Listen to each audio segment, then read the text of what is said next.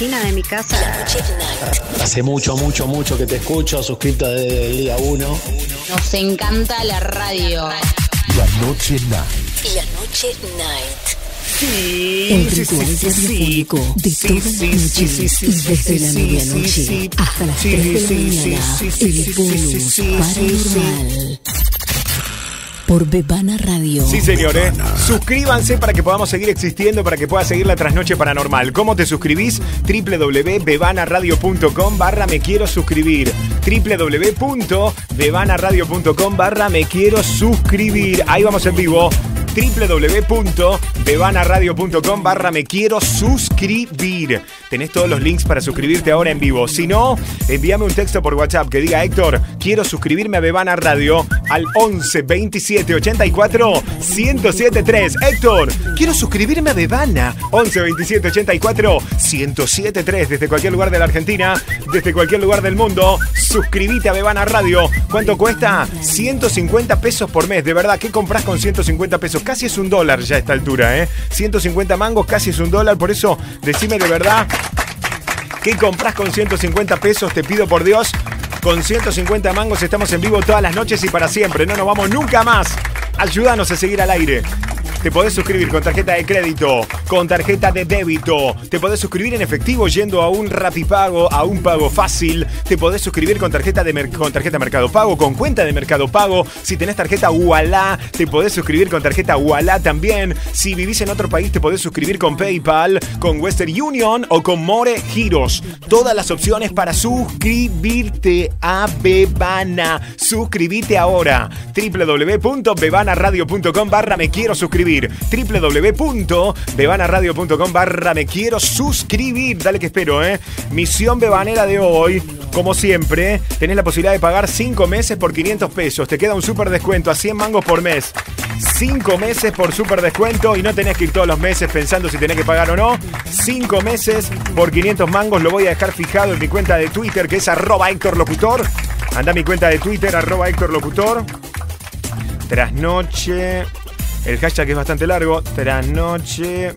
Paranormal desde las 21. Perfecto. En mi cuenta de Twitter, arroba Héctor Locutor, te dejo un tweet fijado. Anda ahora, por favor, ayúdanos. Quien pueda hacer el pago de 500 mangos, con que haya tres amigos o amigas que hoy se copen con el pago de 500 mangos, nos ayudan un montón a cubrir los gastos de Bebana Radio. ¿Nos ayudan?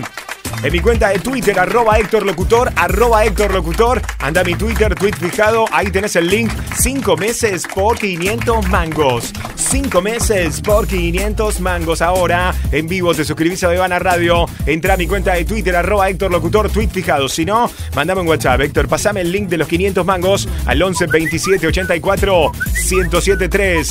11 27 84 1073 en Instagram. Sebastián Cordero, hola Romina, hola Betty Luz. Saludos desde Rodríguez, Caseta Marcelo. Hola chicos a todos, los voy tratando de saludar por todas las redes sociales en vivo en Instagram. Quien quiera hablar conmigo en Instagram, ahora los voy a buscar a Instagram, ¿eh? Quien quiera hablar en vivo, me pide solicitud para hablar en vivo, ¿eh? Por Instagram hacemos duplex, en vivo y en directo. Hola Piru, hola Cris, dale, pedime solicitud, los que quieran hablar en vivo. Voy a Twitter, saludo a Redesmic, numeral Trasnoche Paranormal desde las 21. Hola Rodri Nicolás, presente, Ale Guti. Rubén Consolazione, hola Héctor, hola Bebaneros queridos, reportándome desde Padua. Este aplauso es para vos, guacho. Gonzalito, escuchando desde la heladería con mi novia. ¡Qué bueno en Quilmes! Dulce de leche granizado, chocolate blanco y zamballón para mí, por favor, un cuartito. Lucy Gihan, ¿cómo te encuentro en TikTok? Bueno, arroba Héctor Locutor, ahí estoy en TikTok, arroba Héctor Locutor, Alejandra Embovedo presente, Sol D'Angelo presente, Salta presente, Franco Centeno. Estoy por todos lados, guacho, ¿eh? Lady Huesos, hola Lady. Hola a todos en Twitter, numeral Trasnoche Paranormal desde las 21 con número, numeral Trasnoche Paranormal desde las 21. Héctor, ya sabemos que estás muy demente, pero hacía falta un hashtag tan largo, numeral Trasnoche Paranormal desde las 21, copy paste, por favor. Hola Facherito, me dicen por ahí, hola. Estamos en vivo también por ahí. Hola al querido Richard, hola Cristian González, hola Héctor, numeral Trasnoche Paranormal desde las 21. Se suma Lendo Glue, Luigi, Pilar presente, Héctor, como siempre escuchando la Trasnoche Paranormal, numeral Trasnoche Paranormal desde las 21. La Moroquia, frías noches, amigos bebaneros, saludos desde Lanús, numeral Trasnoche Paranormal desde las 21. Hola en vivo Rodrigo, hola Sandra, hola Milo Paladino, hola queridos a todos por todos lados en vivo y ahí en el WhatsApp también 11 27 84 107 3 guachines, 11 27 84 107 3 explota la trasnoche, claro, como siempre, loco en todo el país. Hola. Escuchá, escuchá, escuchá. Así suena, por supuesto, en vivo Radio 88.7 Bahía Blanca, 105.9 Pehuelco. Dale, Héctor, dale con la trasnoche. Vamos, viva, dale, loco. Estos pibes están todos limados. Acá en Mercedes estamos más sanos y escuchamos otras noches paranormales en la 92.3, Complejo Dance FM. No se duerme en Mercedes, Héctor. No se duerme, amiguito. Hola, guacho. Desde Radio Centro 106.7, Héctor, siguiendo la trasnoche paranormal, Como como, tiene que ser, siempre, querido. de Bobril, Entre Ríos, como siempre, siguiendo el mejor programa de la noche en Vamos, amiguitos. Te mando un abrazo. Chau, loco. ¿Quién quiere Que mandar sí, un y vi- seguimos prendido a la programación. Dale, guachito. ¿Quién quiere mandarme un video para reportarse? ¿Te reportás en un video? Ah, tengo una idea. Con Caro Haldeman, en la trasnoche de Canal 26, estamos pidiendo también que nos envíen videos. Pero como nosotros tenemos mucho aguante, como la trasnoche paranormal tiene muchísimo aguante, pueden hacerme la segunda. Me pueden mandar videos al WhatsApp de Bebana 11 27 84 1073. Todos y todas las que quieran salir en televisión. Si querés caretearla y querés salir en Trasnoche 26, te voy a invitar a que me envíes un video pero claro, en el video tenés que decir, hola Caro, hola Héctor, aguante Trasnoche 26. ¿Desde dónde nos ven? Por ejemplo, aguante Trasnoche 26 desde Salta, Héctor. Hola Héctor, hola Caro, aguante la Trasnoche 26 desde Floresta. Hola Héctor, hola Caro, aguante Trasnoche 26 desde Tierra del Fuego. A ver quiénes se animan ahora, en vivo, a enviarme por WhatsApp un video arengando la Trasnoche 26 al 11 27 84 1073. ¿Puede ser? 11 27 84 1073. Miren, pueden mandar videos desde ahora y durante toda la noche, porque los vamos a usar mañana. Voy a armar un clip. Quiero armar un buen clip con todos ustedes para que salgan por televisión. Así que te invito a que grabes un video ahora donde estés, pero arengando a la trasnoche 26 con Caro y con ¿ok? Al 11 27 84 1073. Y los que quieran producirlo mejor todavía, cuando empiece el programa de tele a las 12 de la noche, que me van a ver ahí, voy a estar vestido así de negro porque me voy para el canal. Pueden grabar un video en la apertura, cuando hacemos la apertura con Caro, grabándose con la tele de fondo, saludando a la tele. Hola Héctor, hola Caro, acá estamos haciendo el aguante desde tu provincia, tu pueblo, tu localidad o tu país. ¿Te copás? Muchas gracias, como siempre. Ustedes siempre me hacen el aguante, chicos, y salen por televisión, ¿eh? Salen todos por la tele. A ver con quién hablo en Instagram. Arroba Héctor Locutor OK. Arroba Héctor Locutor OK. A ver, Mariel Melache, que está siempre por ahí dando vueltas y nunca conectamos. Arroba Héctor Locutor OK. Voy en vivo a Instagram. Instagram vivo. Instagram Lives. Los que quieren seguir este directo, vas a mi cuenta de Instagram. Arroba Héctor Locutor OK. Bancame un cachito, ¿eh? Arroba Héctor Locutor OK. Para que acomode el plano. En arroba Héctor Locutor OK. Voy en vivo. Arroba Héctor Locutor OK. El aplauso es para Mariel Melache. Mariel, querida, ¿me escuchás? Hola, sí, te escucho. ¿Vos me escuchás? Excelente, bueno, bienvenida a la República Argentina, querida. Me siento como una, como un artista. Y sí, pero escúchame, somos todos artistas acá. Este, de- en la noche nos transformamos, querida. ¿Dónde estás? ¿En qué barrio? Eh, vivo en, en San Andrés, en San Martín. San Andrés. Bueno, ¿y a qué te dedicas? Contale algo de vos a la gente. ¿A, a qué te dedicas y cómo es tu ritual de la trasnoche paranormal? Eh, soy abogada y soy profesora universitaria. Excelente. Bueno, ahora estás todo, todo parado, me imagino. Y sí, un poco sí, igual, eh, con las clases virtuales, que no es lo mismo, pero no sé muy bien. Estoy estrenando con vos el tema de los vivos. O Bueno, sea, sale excelente, querida. Sale excelente. O sea, estoy. eh, te decía, y no, eh, nada, voy haciendo en simultáneo. Miro Bendita y miro, te, te miro a vos. Ah, entonces miro se- a vos, escucho. Se puede hacer todo al mismo tiempo. Sí, sí, sí. Excelente. Es que me sirve porque es como un, como un resumen, Claro. eh, digamos, de, de todas las noticias y le ponen un poco de onda y me entero de todo el puterío de la tele. Pero bueno. Claro. Bueno, escúchame, ¿y alguna vez viviste alguna historia paranormal, vos, algo que te haya pasado? Eh, sí, alguna me pasó, pero sí, por ahí situaciones, más que nada en edificios viejos. Eh, sí, eh, o sea, en tribunales, por ahí, de, de- de sentir algo de golpe o algún frío o algo por atrás, alguna cosa así, pero no sé muy bien a dónde mirar, si mirar a de un lado o del otro, ¿no? No, mirá lo- como, como salga. Esto queda después colgado en, el- en mi Instagram, en arroba Héctor Locutor OK. Ahí lo pueden ir a buscar después para los que quieran ver en vivo, en este caso a Mariel que estás. Me dijiste en San Andrés. En San Andrés, sí. Bueno, excelente. Es ¿Estás pre- medio raro esto de. Sí, a lo que ayuda es la luz un poco, pero como uno está cara lavada y qué sé yo, en pijama. Bueno, escuchá, bueno. eh, la, la próxima te producís, querida, y lo hacemos producida. No, que me, me tengo que Y maquillar. bueno, escúchame, no, escúchame. Si la que- la- ya lo decía Olmedo, si la vamos a hacer, la hacemos bien. Claro. No, ayuda, ayuda que me cuido la piel, entonces, bueno. Está bien, está ayuda. bien. Ayuda. Pero la verdad que. sí, Muy sí, fuerte, muy ayuda. fuerte la luz. Bueno, María, querida, te mando un beso. Dale, un beso, Héctor. Beso. Chau, chau. Chao. En vivo, chicos, eh, en Instagram, arroba Héctor Locutor OK. Se pueden sumar ahora, dale que empieza el programa, eh, arroba Héctor Locutor OK. Pueden ir a buscar también porque estamos haciendo vivo de Instagram. Ustedes por radio solamente escuchan, pero en mi Instagram pueden ver a los amigos que van saludando. Voy a saludar a Romina, a ver si está Romina por ahí. Te agrego en vivo, Romy, y empieza el programa 9.22. Vamos que hay mucho contenido. Numeral Trasnoche Paranormal desde las 21. Numeral Trasnoche Paranormal desde las 21. En vivo y en Twitter. Vamos que se suma Romina. A ver qué dicen por ahí. Hola. Hola Héctor, desde la 95.5 FM Lithium, en Icaño, Catamarca, sonando. Vamos, Catamarca. Bebana y Trasnoche Paranormal. Sí, señor, como tiene que ser. Romina, ¿estás ahí? Sí, Héctor. Estamos Hola. las- Estamos las dos. Sí, ¿para quién es? ¿Las dos se llaman Romina? Romina y Rosana. Romina y Rosana, la perfecto. única que varía, que varía es la del medio. La M y la I por la X y la A. Perfecto. ¿Dónde están, chicas? ¿En qué barrio están? ¿Por dónde? Quilmes. Quilmes. ¿Y cómo es el ritual de la trasnoche paranormal con- para ustedes? ¿Dónde nos escuchan y todo eso? ¿Cómo vamos? Mirá, para que veas, yo estoy con un celular. Sí, ¿ves la con aplicación? Bebana, con Bebana abierta, perfecto.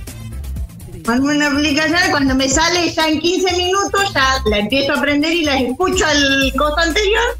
Y ya de ahí. Ah, te enganchás con el pre-bonus. Te, te enganchás con el pre-bonus y después seguís con el programa en vivo. Y ahí empiezo con el Twitter, con el Instagram. Excelente. Che. Atrás terminás y vamos, ya está la tele en canal 26 automáticamente. Cinco minutos antes ya está el canal 26 puesto. Excelente. Bueno, ¿me mandan después un video con la tele de fondo para que los pasen, para que las pasemos al aire mañana? No hay problema, nosotros te mandamos. Nosotros vamos dos firmes ahí, Coco. Vamos todavía. Bueno, les mando un beso. Chau, chau, chau, chau. Chicos, estamos completamente en vivo. Arranca el programa, loco. 9 de la noche, 23 minutos, 9.23. Mañana la seguimos por Instagram. Mañana seguimos con vivos. ¿Les gustó? Porque ya está Alexis preparado para empezar la trasnoche, dice. La noche night. Arriba, chicos. Que soy yo. De 21 a 0. En Bebana Radio. Dale, guacho, que empieza. Mucha gente te está esperando.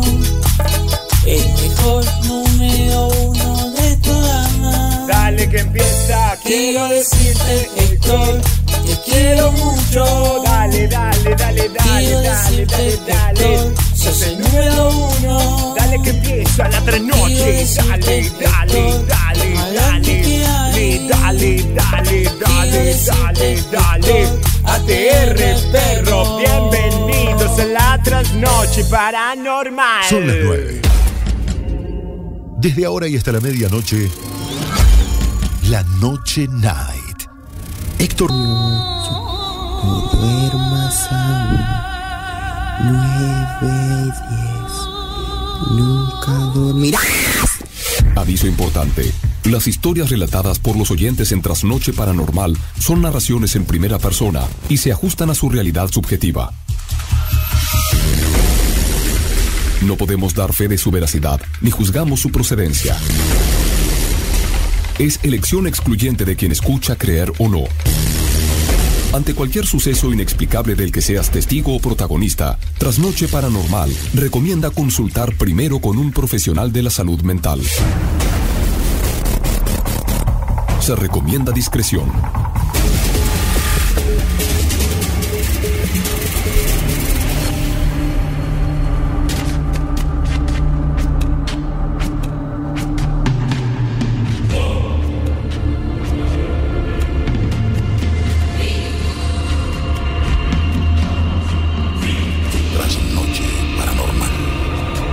Hola a todos, hola amigos, hola amigas, bienvenidos. 9 de la noche, 39 minutos. Estamos completamente en vivo.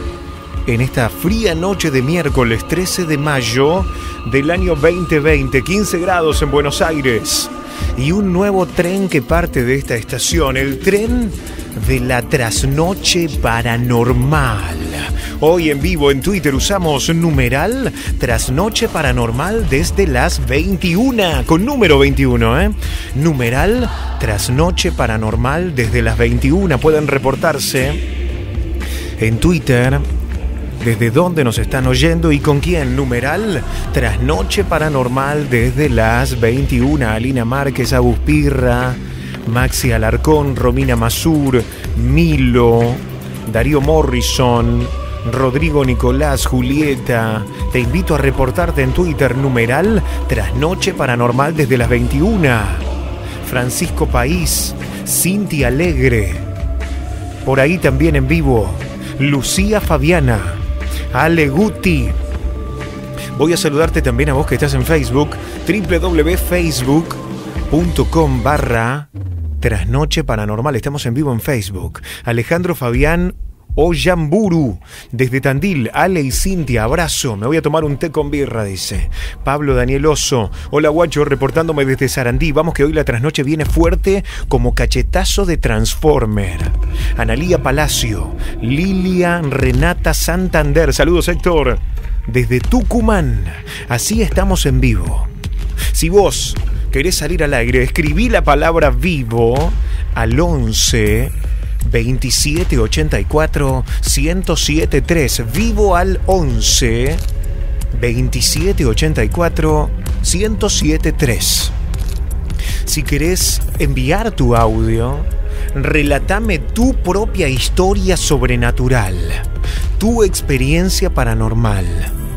En un audio por WhatsApp al 11 27 84 1073.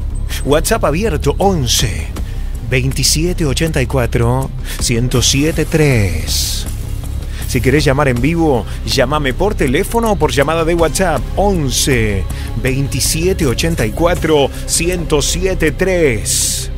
11 27 84 1073. Repórtense también los oyentes del futuro. Vos que estás escuchándonos otro día. Estamos en vivo, 9 de la noche, 42 minutos, 13 de mayo. Pero tal vez vos estás escuchando este programa en Spotify. O en YouTube. Si estás en YouTube, primero frena el video, toca la campanita de mi canal, Héctor Locutor, dale like al video, te pido por favor, nos ayuda un montón. Deja un comentario debajo Suscríbete a Bebana Radio si podés, porque todo esto lo estamos haciendo a pulmón. No somos una radio tradicional con pauta publicitaria. Ayúdanos con tu suscripción, con tu membresía de 150 pesos argentinos por mes, que podés hacer a través de este sitio web www.bebanaradio.com barra me quiero suscribir. Ahí tenés todas las opciones. Si no, si estás en YouTube, debajo de esta caja de comentarios tenés todos los links para suscribirte en Argentina o en el exterior. Si estás escuchando este programa desde el futuro, reportate también al WhatsApp. Héctor, soy oyente del futuro porque estoy escuchando el programa del 13 de mayo, hoy que es 25 de mayo envíame un video o un audio al 11 27 84 1073 11 27 84 1073 Por último, si nos estás escuchando en Facebook Live o si estás escuchando este programa grabado también en el Facebook, Debajo del video tenés todos los links para suscribirte, para ir a Spotify, tenés todo. Ayúdanos a poder seguir al aire. 150 mangos por mes o un dólar si estás afuera de Argentina por mes. A los amigos del extranjero. Lo pueden hacer por PayPal, Western Union o More Giros. Ayúdennos a seguir generando este contenido que tanto nos gusta. A nosotros hacer y a vos escuchar. Hoy hay Historia Central Estreno. Y la historia de hoy, para mí, va de cabeza al podio. La niña oculta. Historia Central Estreno. La niña oculta. En un minuto comparto con vos un adelanto de esta super historia central estreno. La niña oculta. Hoy el verdadero explorador de cementerios. Hernán Bisari. En vivo. Y la batalla del bien y el mal. En Buenos Aires. Pero además, María José Roballo, desde Ecuador, con historias de duendes reales. Como si esto fuera poco, llega Mai Martorelli. Buenas noches, ¿cómo estás? Buenas noches, bienvenida a la Argentina. Muchas gracias. Vos sabés que ayer a la noche, a la madrugada, era muy tarde, no me podía dormir.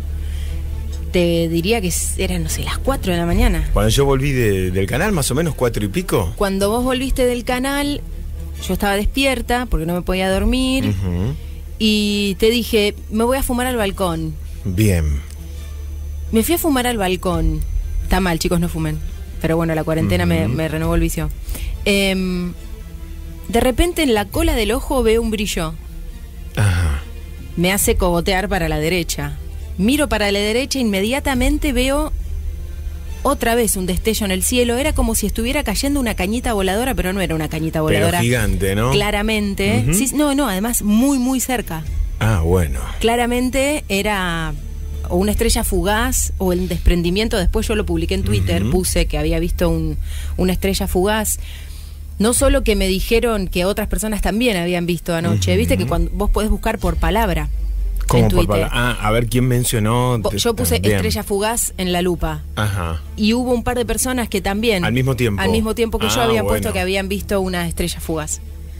Y alguien me respondió y me dijo, bueno, eso tiene que ver con que ayer pasó un cometa y esos podrían ser algunos de los restos del cometa que se esperaba ver. Ah, Así bien. que yo quiero saber si alguien tiene información sobre eso, si alguien también además vio anoche estrella fugaz.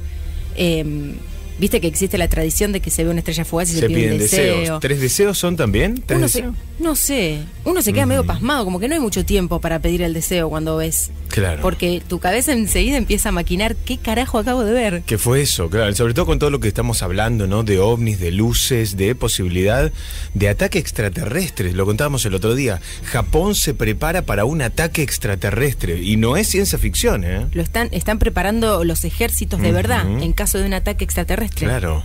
Qué impresionante. Por eso te digo, o sea, eh, inmediatamente pensás cualquier cosa. Bueno, en este caso una luz. En este caso una luz y, y uno inmediatamente se pone a, pensar, porque también tiene que ver el contexto, ¿no? Si hubiera sido la noche del 31 de diciembre, yo hubiera No le asumido... prestás atención, claro, Exacto, hubiera asumido que era una cañeta voladora, porque se veía igual, se veía de la misma manera que cuando explota un fuego artificial y cae la brasa por el cielo, bueno, de esa manera estaba muy cerca, chicos, no es que lo vi, vi una lucecita por allá lejos con un humito, no, no, no, me cayó a metros, a Claro. metros, en el cielo, a, la- a mi derecha, o sea, quedé bastante impactada, así que si alguien tiene información, que nos lo cuente, porque obviamente aquí estamos muy interesados. Y hablando de fenómenos en el cielo, Hoy el tema tiene que ver con eso justamente, el tema que les traigo. Tiene que ver con un escándalo, con alerta en el cielo de Punta Alta, porque hubo una luz extraña sobre un barrio llamado Albatros 20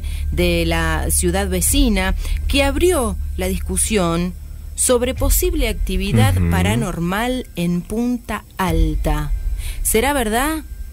Bueno, te vamos a contar qué fue lo que vieron los vecinos en el cielo, qué es lo que se especula y obviamente vos, si en estos días estuviste teniendo la posibilidad de ver objetos en el cielo, objetos voladores no identificados pueden ser, pueden ser luces también, estrellas con comportamientos anormales, bueno, contanos en el hashtag Trasnoche Paranormal desde las 21. Trasnoche Paranormal desde las 21 o si tenés ganas de explayarte un poquito más y contárnoslos con tu propia voz, lo podés hacer al 11 27 84 1073. Noche de miércoles en la que ya desde la semana pasada implementamos viajar a México, porque ahí está ella esperándonos. Ella que es locutora, periodista, actriz de doblaje, la conductora de historias del más allá, el programa líder del fenómeno paranormal terrorífico en México. Ella que además, vamos a contarle a la gente, el domingo pasado estuvo de festejo, no ella, pero sí con su familia, porque en México fue el Día de la Madre, en otros países también. El fin de semana este que pasó fue el Día de la Madre y obviamente está bueno también conectarse con los festejos de distintos lugares del mundo. Y para hoy, en esta super noche de miércoles en la que usamos numeral trasnoche paranormal desde las 21, 21 la ponemos con número 21, ¿ok? Numeral trasnoche paranormal desde las 21, le vamos a abrir la puerta grande a Carmen Peña en vivo con nosotros. Hola Carmen, ¿cómo estás? Mi querido Héctor, hola, hola, muchísimo gusto de estar de nuevo en esta tremenda trasnoche paranormal. Saludos para todos los que en este momento nos están escuchando a través de Bebana Radio, Bebaneras y Bebaneros Gracias. Voy a contarle a la gente algo que no tiene que ver con el programa, rompo la magia de la radio, pero el domingo pasado pues, yo la llamé a, Carmen para preguntarle un par de cosas sobre todo lo que íbamos a hacer hoy miércoles y te llamé en un momento donde estabas en pleno festejo, porque era el Día de la Madre, ¿no? El domingo fue... Sí, em, de hecho, en esta temporada para nosotros en México porque eh, como ya desde la otra vez platicábamos, no coincidimos todos los países latinoamericanos, tenemos eh, cada día especial. Por ejemplo, el 30 de abril eh, decíamos que en México es Día del Niño y tú me decías que era en agosto. En agosto, sí, sí.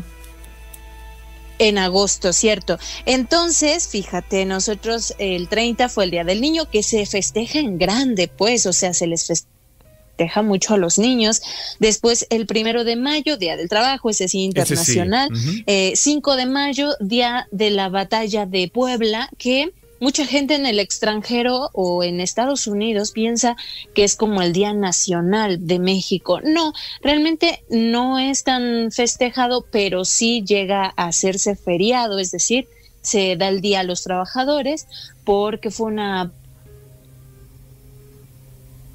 10 de mayo, que es la locura total. En México es el 10 de mayo, como tú lo dices, amigo, el pasado domingo que ahí estábamos, oye Héctor, es que ando acá en la comida, pero sí dime, pero no, pero que mi mamá y que esto.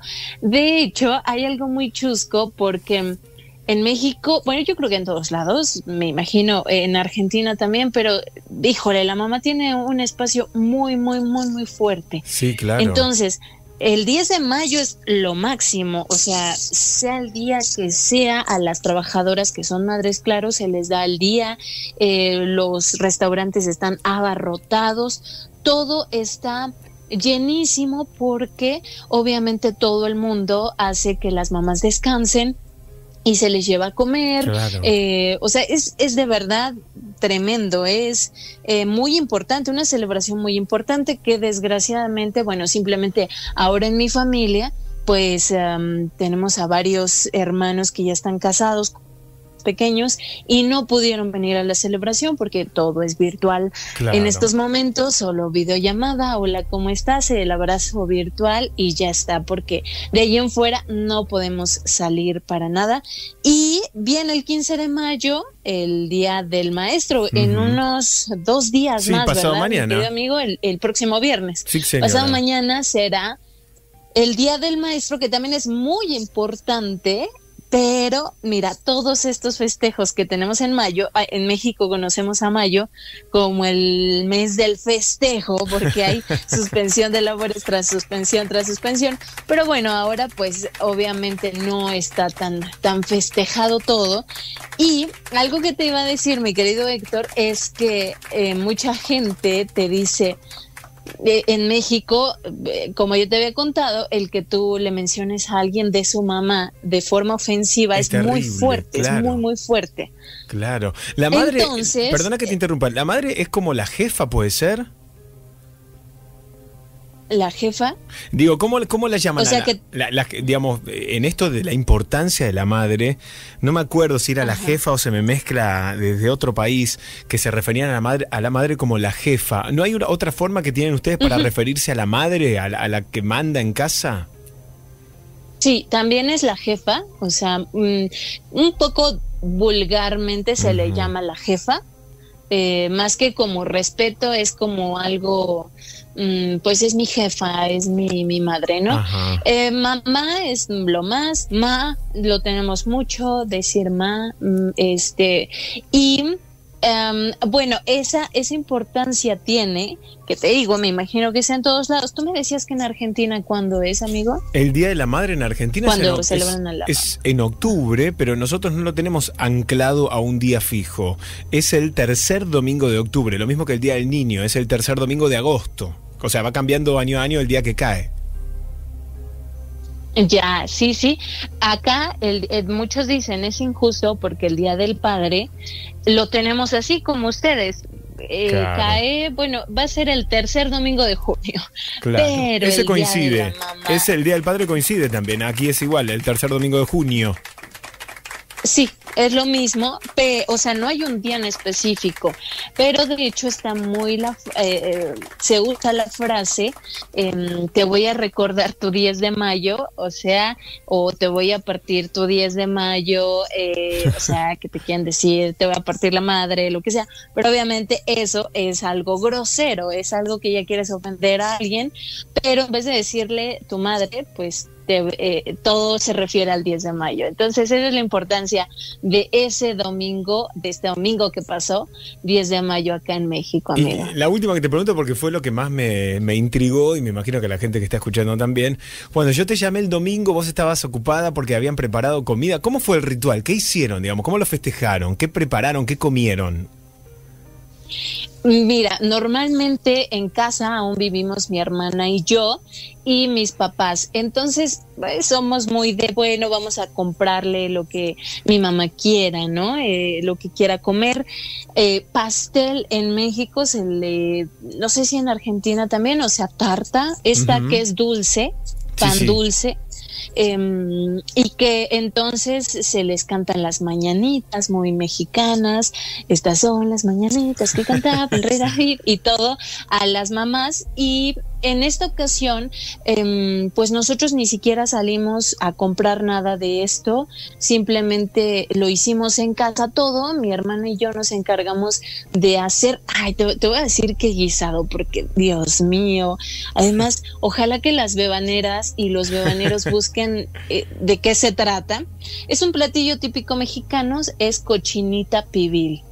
Uy, Dios. ¿Cómo es cochinita? pibil, así se llama.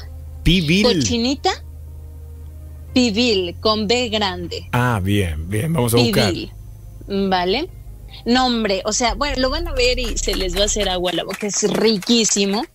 Y aparte de eso, hicimos, bueno, y eh, nos encargamos de hacerle un pie de limón, algo que fuera casero, con el objetivo de no salir a comprar, pues nada ahora, ¿no? Qué rico. Bueno, la pasaron Así fue el súper. ritual. La pasaron súper. Y sí, hoy, súper bien, súper bien. Y en esta super noche de miércoles, numeral tras noche paranormal desde las 21, numeral tras noche paranormal desde las 21, teníamos, tenemos dos momentos. Habíamos pensado originalmente poner uno ahora al principio, pero te propongo poner los dos después porque ya hemos platicado bastante, pero de todos modos te voy a invitar a que me titules, que nos titules, cuáles son los dos momentos, las dos historias que trajiste para hoy, Carmen. Buenísimo. La primera se llama mm, No me iré de ti, nunca me iré de ti, perdóname. Así se llama, es un WhatsApp grabado en voz de una servidora, Carmen Peña.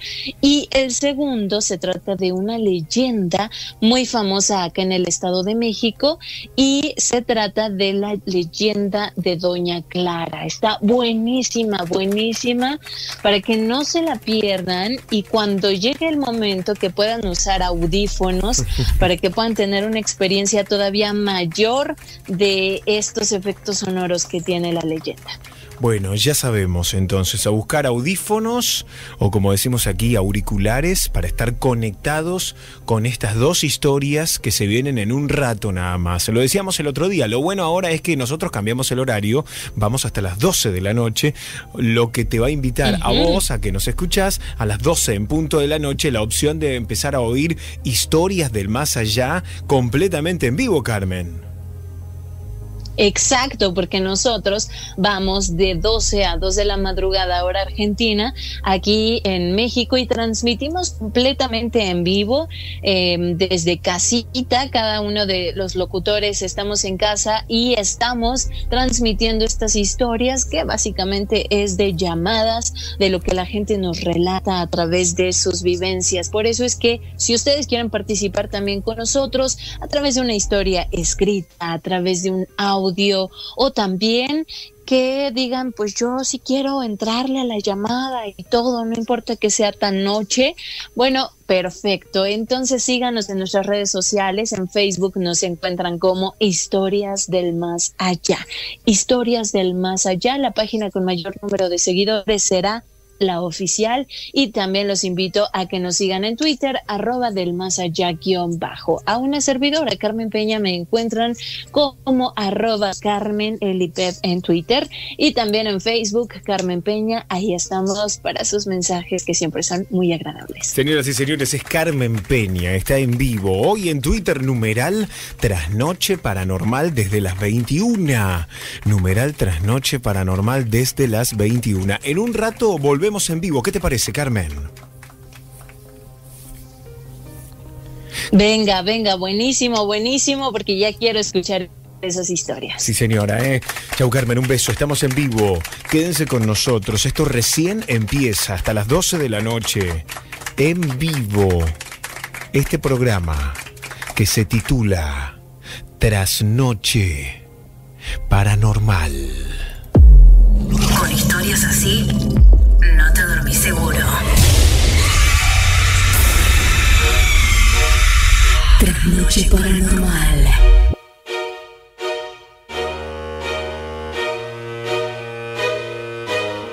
Mandanos un audio por WhatsApp al 1127 84 1073. 11 27 84 1073.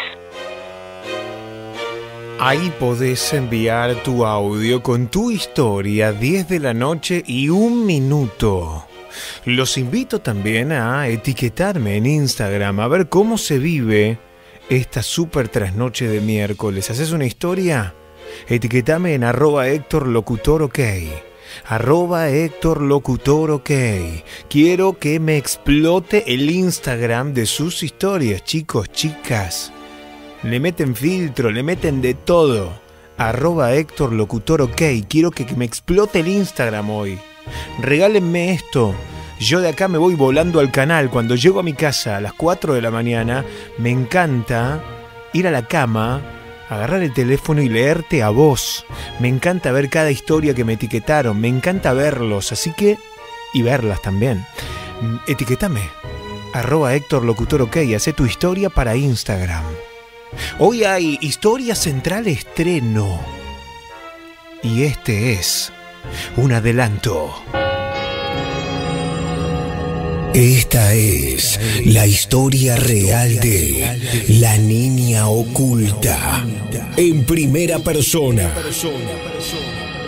Primero, antes de contarles esta historia, quisiera que supieran algo de mí.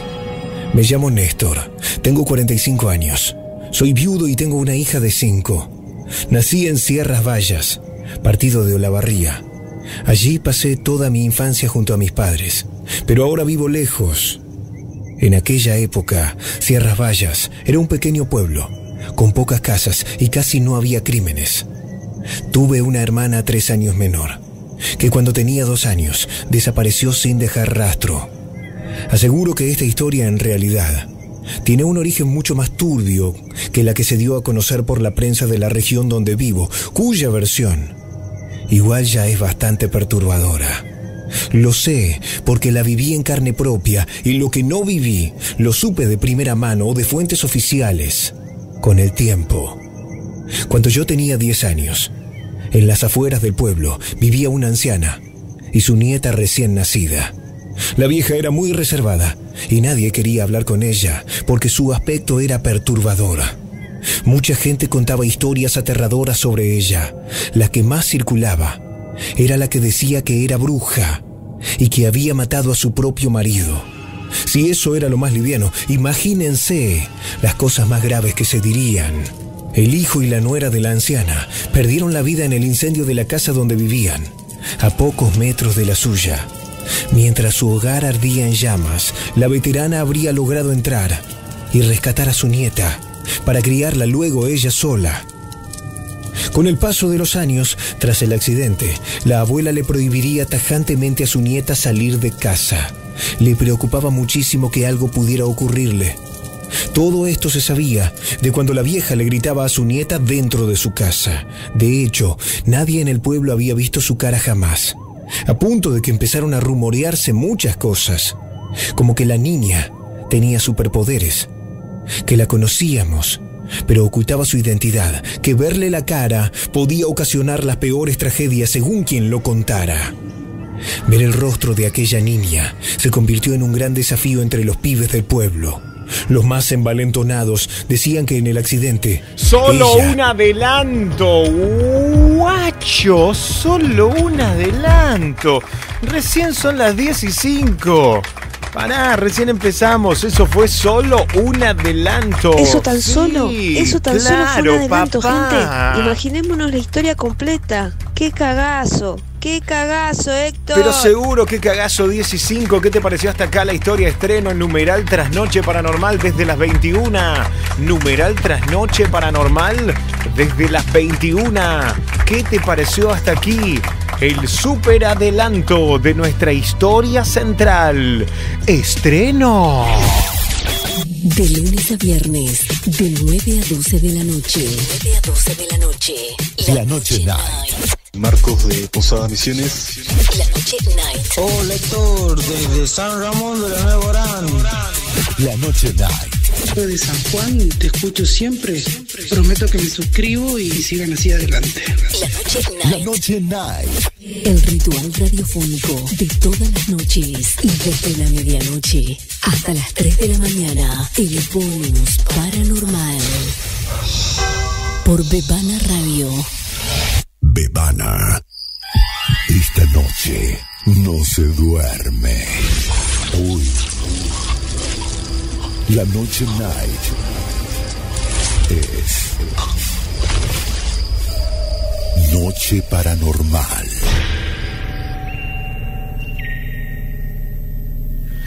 Super noche paranormal de miércoles. Hoy usamos numeral tras noche paranormal desde las 21. 21 con número. 21, ¿ok? Numeral tras noche paranormal desde las 21. Digo 21 para que pongas el 2 y el 1. Es larguísimo el hashtag, ya lo dije en la apertura, copian y pegan. Numeral tras noche paranormal desde las 21. 21 con número. Él es el verdadero explorador de cementerios. Ha sido premiado, distinguido por la legislatura porteña.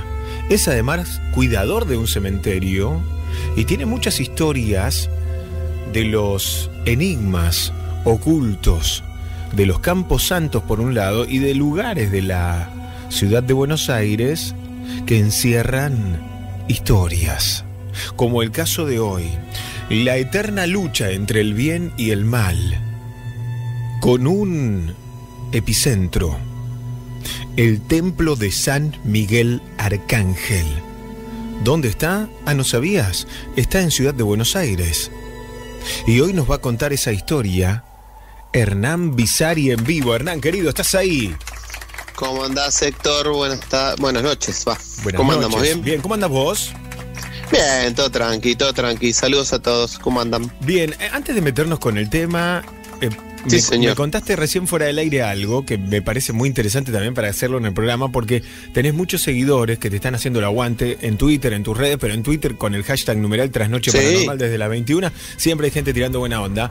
¿Me puedes responder qué estabas haciendo hace un rato que me lo contaste fuera del aire?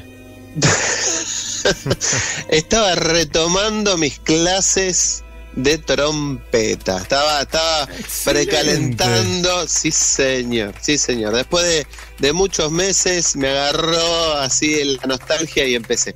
Empecé de vuelta. Tocabas, pero desde siempre tocabas, tocabas la trompeta. Y hace ya unos seis años más o menos este, que, que vengo, o sea, vengo estudiando, esto es como todo en la vida, es un estudio constante y es un perfeccionamiento constante. Cuanto más estudias y más practicas, mejor te van saliendo las cosas y bueno. Esto es así, es un estudio constante. El que te dice ya, ya estoy recibido, mm, viste, hay que, hay que estudiar siempre para estar más sofisticado y aprender cada vez más. Qué capacidad respiratoria, ¿no? Que hay que tener. Sí, porque haces una, una respiración diafragmática y llenas bien, bien la panza, por así decirlo. Y después, bueno, después la vas, la vas piloteando, o sea, la vas manejando y vas tomando en determinados lugares, cuando vos vas viendo el tema de, de huequitos que se producen en, en- en la pieza, digamos, musical, y ahí tomas aire y vas llenando. Pero bueno, después se transforma como el manejo en algo automático. Automático. Eh, claro, empezar a poner los cambios automáticamente hasta que ni te das cuenta. Eh, y bueno, esto pasa lo mismo, se transforma al principio, sí, te volvés loco, vienen los ejercicios del papel en la pared y soplar que no se te caiga.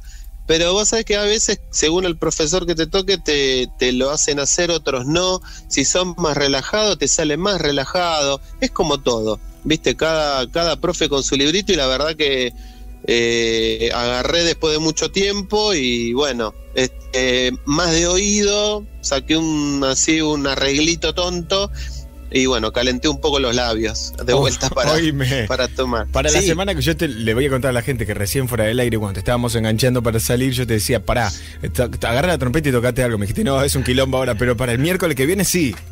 No, hace un montón que no toco, entonces le voy a andar cada, con cada pifiada que voy a Claro. quedar peor. Entonces, prometo para el próximo miércoles hacer como una, una intro de Just a Closer Walk the que es un tema que se toca en los funerales de New Orleans.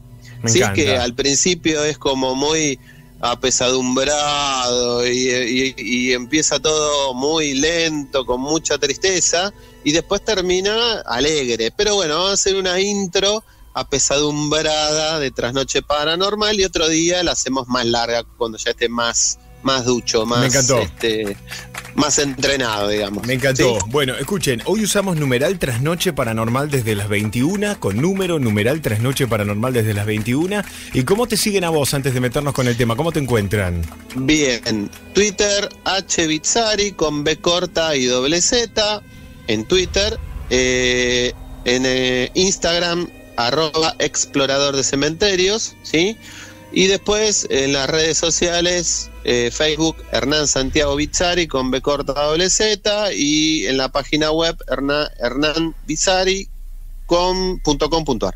Bueno, vas a hablar de, como vos me lo titulaste, la eterna batalla entre el bien y el mal, pero de un lugar que está físicamente en Buenos Aires, que es el templo de San Miguel Arcángel, Hernán.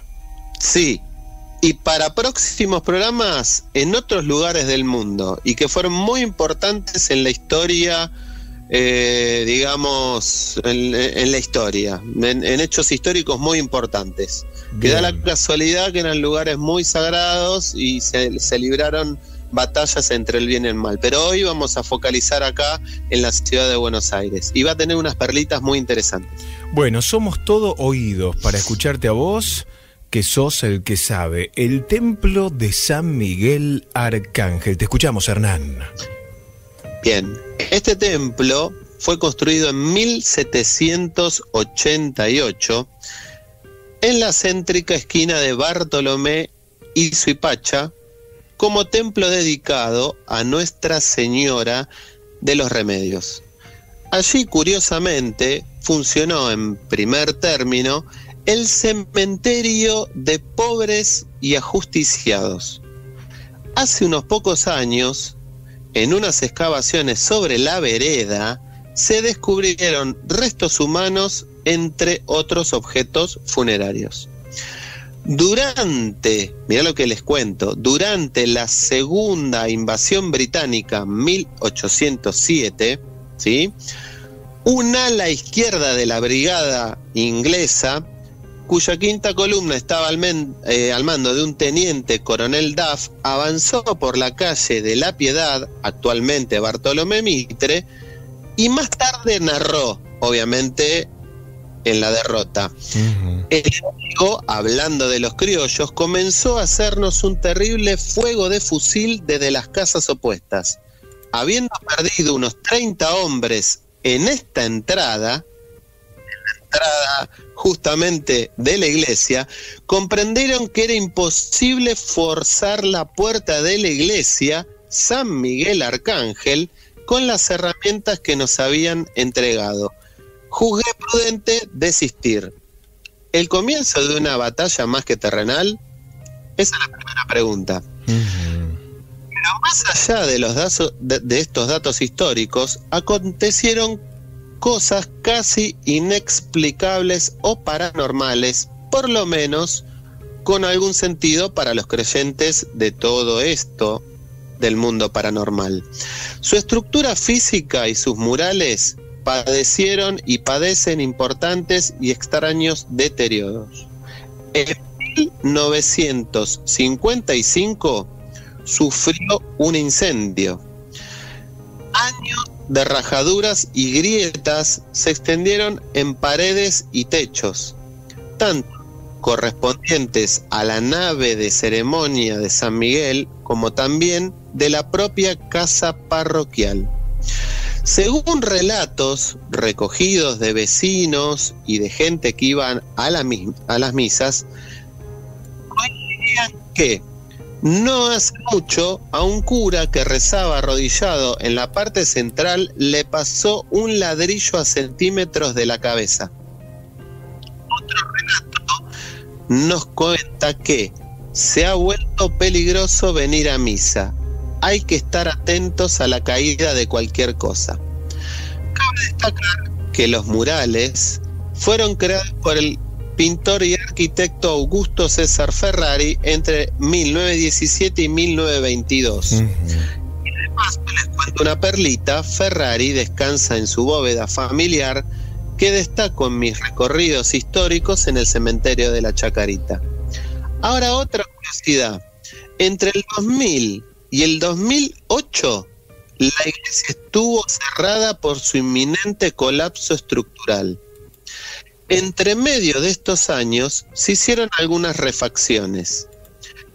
Lo más llamativo, y acá es interesantísimo, es donde está inscripta esa frase en latín, ese, Micael, deféndenos in proelio. San Miguel Arcángel, defiéndenos en batalla. Sé nuestro amparo contra las maldades y acechanzas del diablo. Eso se nota cuando uno va, ¿sí? por su pacha y ve el frente de la iglesia justamente en la entrada de la iglesia. Hay una gran estatua de San Miguel Arcángel, conocidísima imagen alegórica del bien triunfándole al mal o venciendo al mal, o el mismísimo príncipe de la milicia celestial poniendo un pie sobre signo de victoria sobre el ángel caído. Pero para mi asombro y, y de aquellos que cuando termine la pandemia puedan visitar esa iglesia, van a poder apreciar que el brazo donde tendría que tener su espada está roto. Eso lo voy a subir en imágenes. Esta figura tan representativa no solo está incompleta, sino indefensa. ¿Existe o existió una lucha real entre el bien y el mal en la iglesia San Miguel Arcángel durante todos estos años? Con todo lo que vino pasando. En el 2008 se produjeron algunas restauraciones y hasta el mismísimo Jorge Bergoglio, obviamente antes que sea el Papa Francisco, dijo algo muy interesante precisamente que Buenos Aires es una ciudad que se ha paganizado, que inventa ídolos que atrapa el corazón. Es una ciudad que descuida a sus niños y ancianos. Y señaló, en una ciudad así, el demonio hace de las suyas. Afirmó que Dios quiso recuperar para su pueblo fiel un lugar sagrado y invitó a rezar la oración que dice, San Miguel Arcángel, defiéndenos de la batalla, ampáranos contra la perversidad y acechanzas del enemigo, repitiendo curiosamente la frase, la cual les comenté con anterioridad, que está grabada en el frente de dicha combativa iglesia.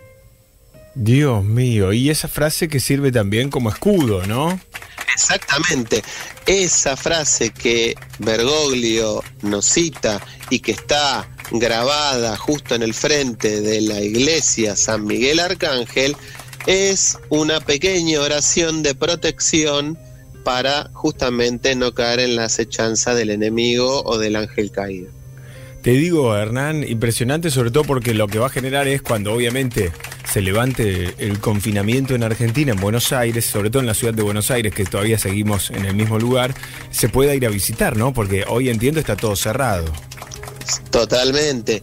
Pero como ya, pa, les voy a ir, eh, les voy a poner cuatro fotos, ¿sí?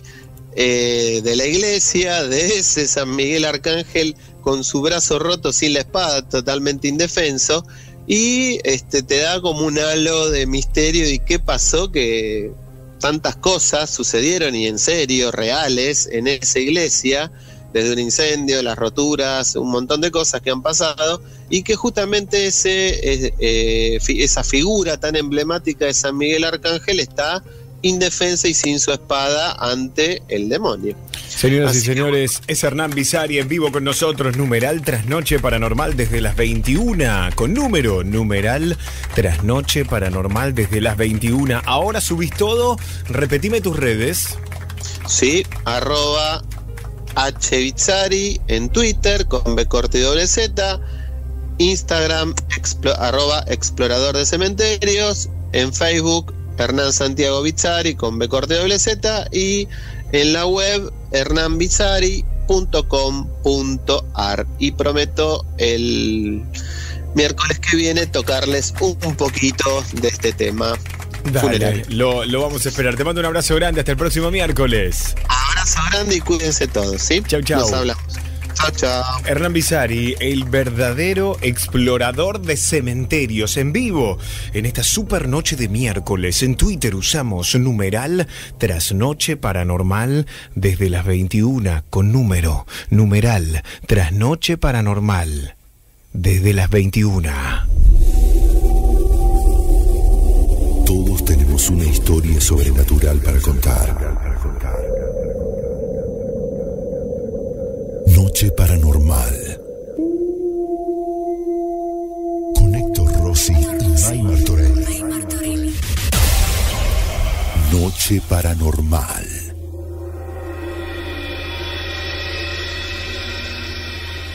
Mandanos un audio por WhatsApp al 1127 84 1073. 11 27 84 1073. Eh, los de la sombra no creo que sean tan así, porque tuve la oportunidad cuando estuve viviendo con mis padres, en la casa de mis padres hasta actualmente, hay personas que ven cruzar una sombra este, por la ventana. Eh, no solamente la he visto yo, la vieron mis hermanos, mis padres, y también visita que estuvo en su momento paseando en casa, este, y no creo que, que todos coincidamos con la misma sombra, la misma forma y todo eso, y con la expectativa de que sea una persona que justamente pasa y que la esperamos que abra la puerta del fondo porque no quiso pasar por la puerta de adelante, porque es un garaje en la parte del costado. Eh, por años se la vio, se la sigue viendo actualmente. Y este yo más bien pienso que debe ser algo que es al lado de casa porque pienso que debe ser un portal o algo porque la gente que ha vivido ahí siempre ha terminado mal. He tenido los primeros vecinos, porque en ese, en ese lugar eh, nunca hubo construcciones viejas desde que yo vivo ahí. Eh, era todo un campo donde había naranjas y se vendieron las hectáreas. Se edificaron las casas, las calles y todo eso como corresponde. este, y el dueño de esa casa nunca la pudo habitar. Eh, muy bonita la casa, hermosa la casa. Nunca la pudo habit- habitar eh, porque el matrimonio se separó antes de que pudieran habitarla la casa. Bueno, después vienen, eh, alquilan, alquilan, la- las alquilan y, vinieron a vivir diferentes personas, pero todos coincidían de que algo les pasaba. Era como que llegar ahí a ese lugar y siempre terminaban este, eh, distanciándose, peleándose, este, siempre algo malo. Entonces, este, y qué casualidad que cuando se mudaban de la casa, volvía la armonía a la familia. O sea que yo le atribuyo algo malo que se encuentra en, en el lugar, no en la casa, sino que se edificó justamente en un lugar malo. Eh, tuve la oportunidad que cuando tuve nueve años vi salir una sombra que atravesaba eh, la pared desde esa casa, que era, digamos, una tapia vecina a la de mi mamá. Y, y atravesaba la pared de mi vecina, atravesaba el hall diría, de mi madre y eh, la tapia de la vecina de al lado. Eh, y tuve muchas oportunidades y cosas que me pasaron con respecto a esa casa. Eh, gente que vivió, gente que alquiló, después se volteó la casa, se edificó una nueva casa. Oh, qué casualidad, qué casualidad eh, que el, ingen- el arquitecto que hizo la casa, la nueva casa, que era una casa este, con losas y todo eso, la hizo exactamente igual en las mismas medidas del donde estaba construida el cimiento anterior. O sea, voltearon todo, derrumbaron todo, pero se edificó exactamente igual en el mismo lugar. Eh, la verdad que hasta el día de hoy nunca nadie puede habitar esa casa. Negocio que se pusieron, porque está en toda, toda una esquina, negocio que se pusieron, siempre fueron a la quiebra, nunca funcionó nada. Y muchos vecinos vieron, vieron cosas salir de ahí. Así que con respecto a la sombra, yo creo que, que no es con el trauma que tengas. Eh, yo creo que es más que algunas personas que pueden verla y otras que no. Pero en mi caso personal, todos los que fueron a visitar eh, la casa de mi madre, que está al lado de esa casa, siempre pudieron ver esa sombra negra. Mandanos un audio por WhatsApp al 1127 84 1073. 11 27 84 1073. Usamos numeral trasnoche paranormal desde las 21 con número. Numeral trasnoche paranormal desde las 21. Hola Héctor, soy Abigail de Lomas. Quiero contarles que tuve un sueño en el que estaba pasando por un puente y debajo había una vía de tren. A los costados había mujeres muertas y olor a muerto. En un momento vi a una mujer envuelta en bolsas de consorcio. Cuando bajé del todo del puente estaba con mi mamá y había dos filas, una larguísima que no avanzaba y en la otra estaba una quinceañera con su mamá. La saludamos, seguimos por ese mismo camino y me desperté. Pero la sensación que me quedó fue horrible. Encima, arriba del puente había muchísimas personas. Es un sueño recurrente que tengo. ¿Qué será? Bueno, se lo vamos a, guardar y a preguntar a Antonio Laceras mañana. Hola familia Bebanera, les cuento una experiencia del año 2006 al 2010. Trabajé en una terminal de transporte urbano en el horario nocturno de 20 a 8 horas. En uno de los últimos coches, después que se bajaron los pasajeros, nos dimos cuenta que un pasajero había hecho su último viaje, es decir, llegó fallecido. Bueno, después los trámites de reconocimiento, los trámites policiales. Durante mucho tiempo los choferes, conocidos de un bar que estaba cruzando la calle, incluso también mi cuñado, que hacía el mismo horario nocturno, se empezaron a preguntar y empezaron a preguntarme a mí quién era el hombre que aparecía todas las noches sentado. Pasa caminando alrededor de la terminal. En una de las madrugadas llegó un supervisor de seguridad y saliendo de mi caseta me dirigí al móvil para firmar la planilla y mientras firmaba, el supervisor me mira y me pregunta, ¿quién es ese hombre que está ahí sentado? Inmediatamente me di vuelta, miré y el hombre que vi era el pasajero que había llegado fallecido en el coche nocturno. Le tuve que contar quién era y durante un buen tiempo ese supervisor no quiso pasar ni siquiera por la terminal. Mi nombre es Robert, de Montevideo. Mandanos un audio por WhatsApp al 1127 84 1073. 11 27 84 1073. ¿Qué haces, Héctor? May, muy buen programa. ¿Sabes que estaba escuchando la otra vez, hace unos días, creo que hicieron una, una nota con Viviana Bryson, ¿no? Que hablaba de, de los universos paralelos, ¿no? Bueno, muy bueno, muy interesante. Me hizo acordar a Dark, ¿viste la serie? Está bien, es una ficción, ¿no? Es muy buena, es muy interesante, pero bueno, es una ficción. Pero tiene cosas de, de lo que hablaba el otro día Viviana, ¿no? Que los universos paralelos en, que bueno, suceden simultáneamente, ¿no? Con, el, con, con un concepto del, tiempo circular, no lineal como, como lo conocemos nosotros, ¿no? Pero bueno, estaría bueno que, que ahonden un poco más en ese tema algunos de estos días, ¿no? Que es muy interesante. Y bueno, saludos acá, Víctor de Pilar. Gracias, Víctor. Sí, yo tuve la posibilidad de verla, la serie. Es una serie alemana que te vuela la cabeza.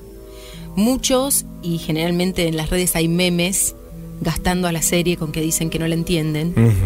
Pero claro, es una de esas series que tenés que mirarla prestando atención, que no podés mirarla distraído y que muchas veces vas a tener que rebobinar. Porque hay distintos momentos, distintos universos. Porque hay distintos universos y algunos personajes son los mismos con no solamente años de diferencia, sino mundos Diferencia- claro, diferentes. en la misma edad el personaje vive dos realidades distintas, paralelas o Claro, simultáneas. Claro. La trama de la serie tiene que ver con que hay una mina en un pueblo donde supuestamente hay desechos nucleares.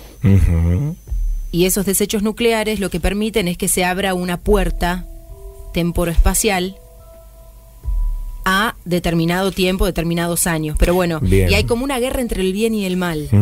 Está buena la serie, yo la recomiendo.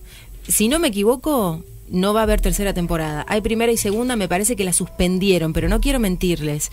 Les prometo que voy a preparar bien el tema y se los voy a contar más en detalle en una próxima edición. Pero sí, obviamente, Dark, así se llama, Dark está en Netflix. Si la van a ver, préstenle atención. Y lo bueno es que ya está la temporada 1 y 2 subida. Excelente. Entonces no vas a tener que refrescar la 1 cuando veas la 2. Bien. Porque no entendés un pito cuando ves la 2 y no te acuerdas de la 1. Pueden opinar o pueden este, compartir material en Twitter, numeral Trasnoche Paranormal desde las 21, con número numeral Trasnoche Paranormal desde las 21. Con historias así, no te dormís seguro. Trasnoche paranormal.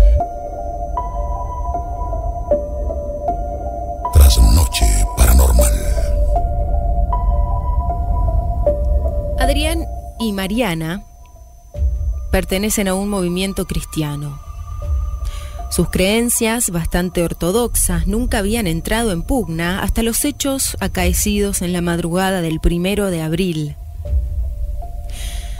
La jornada del 31 de marzo había sido por demás difícil. Se cumplían los primeros nueve días de la cuarentena.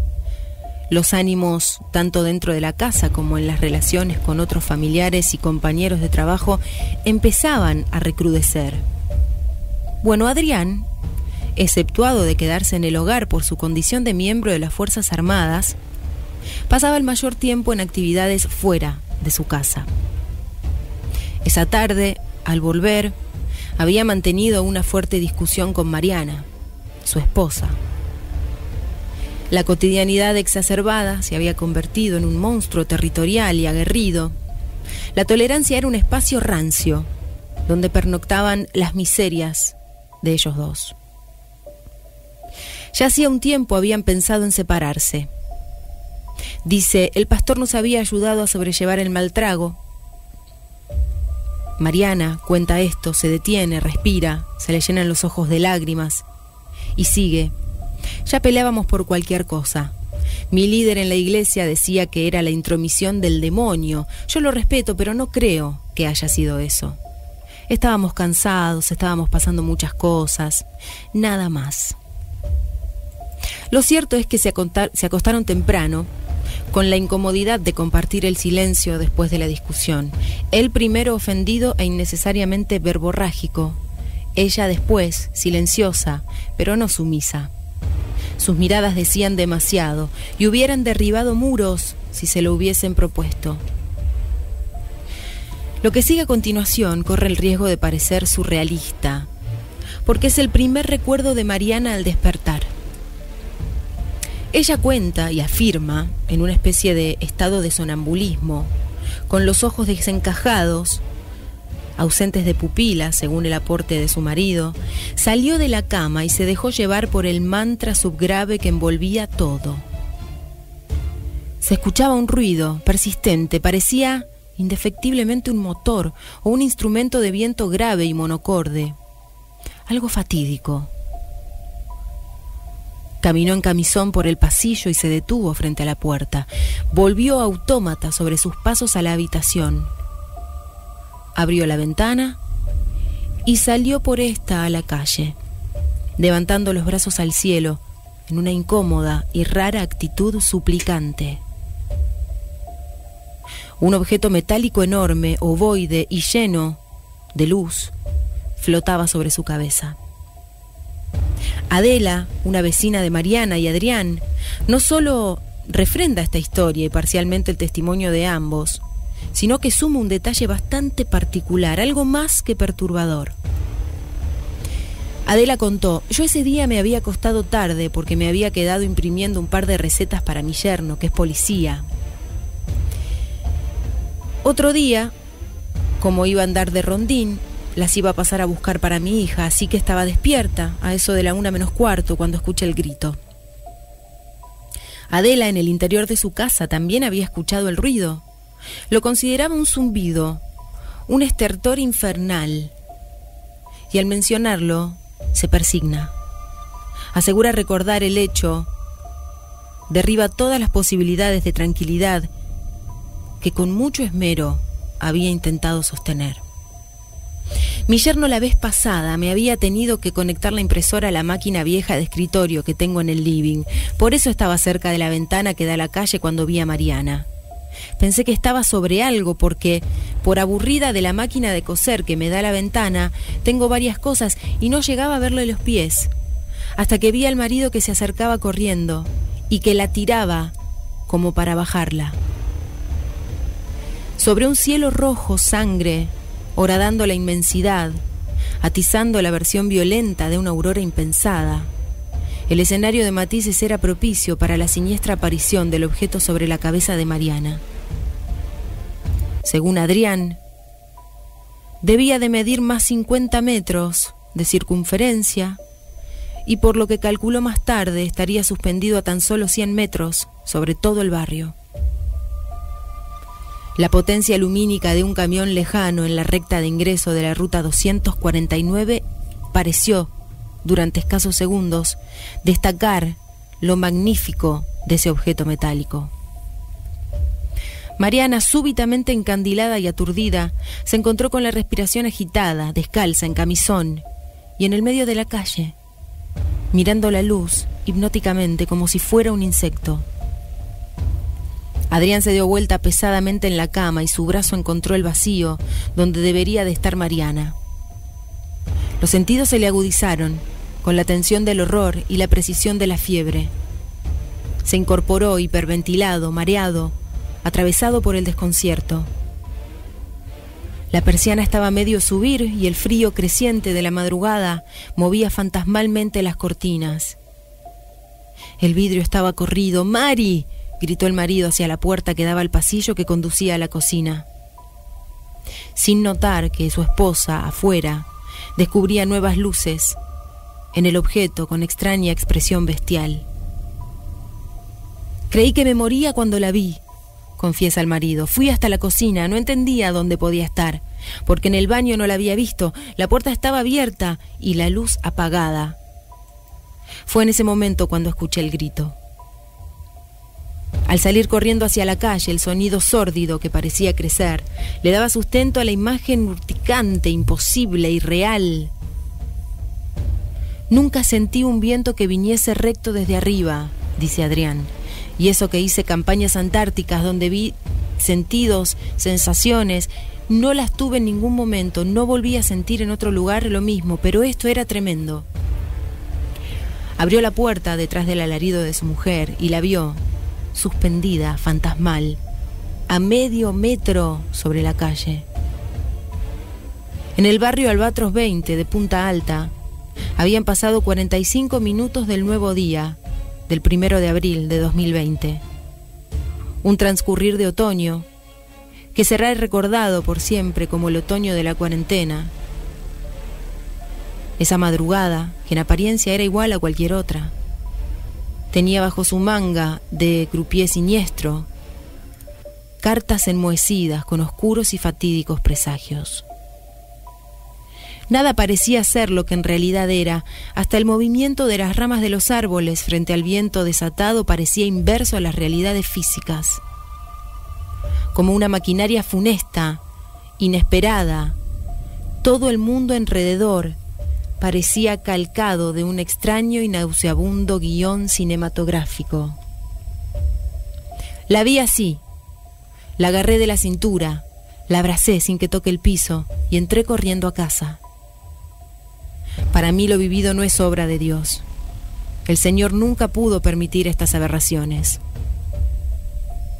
Cuando Mariana volvió en sí, se abrazaron, lloraron como chicos, juraron volver a quererse y respetarse, como si renovasen los votos, mientras afuera el sórdido mantra que evocaba Chutlu de Lovecraft seguía aterrorizándolos desde lo indescifrable, desde la profundidad de una incertidumbre hueca que reverberaba desdichas. Esa noche, no notaron que Mariana, en el cuello, debajo de la epiglotis, tenía un cuerpo extraño, de consistencia metálica, que al tocarlo con las yemas del índice y el pulgar, parecía comenzar a vibrar. Cada historia te deja pensando. Cada relato te abraza en la oscuridad. La noche es el momento perfecto. La noche paranormal. La noche night. Con Héctor Rossi y May Martorell. Noche paranormal.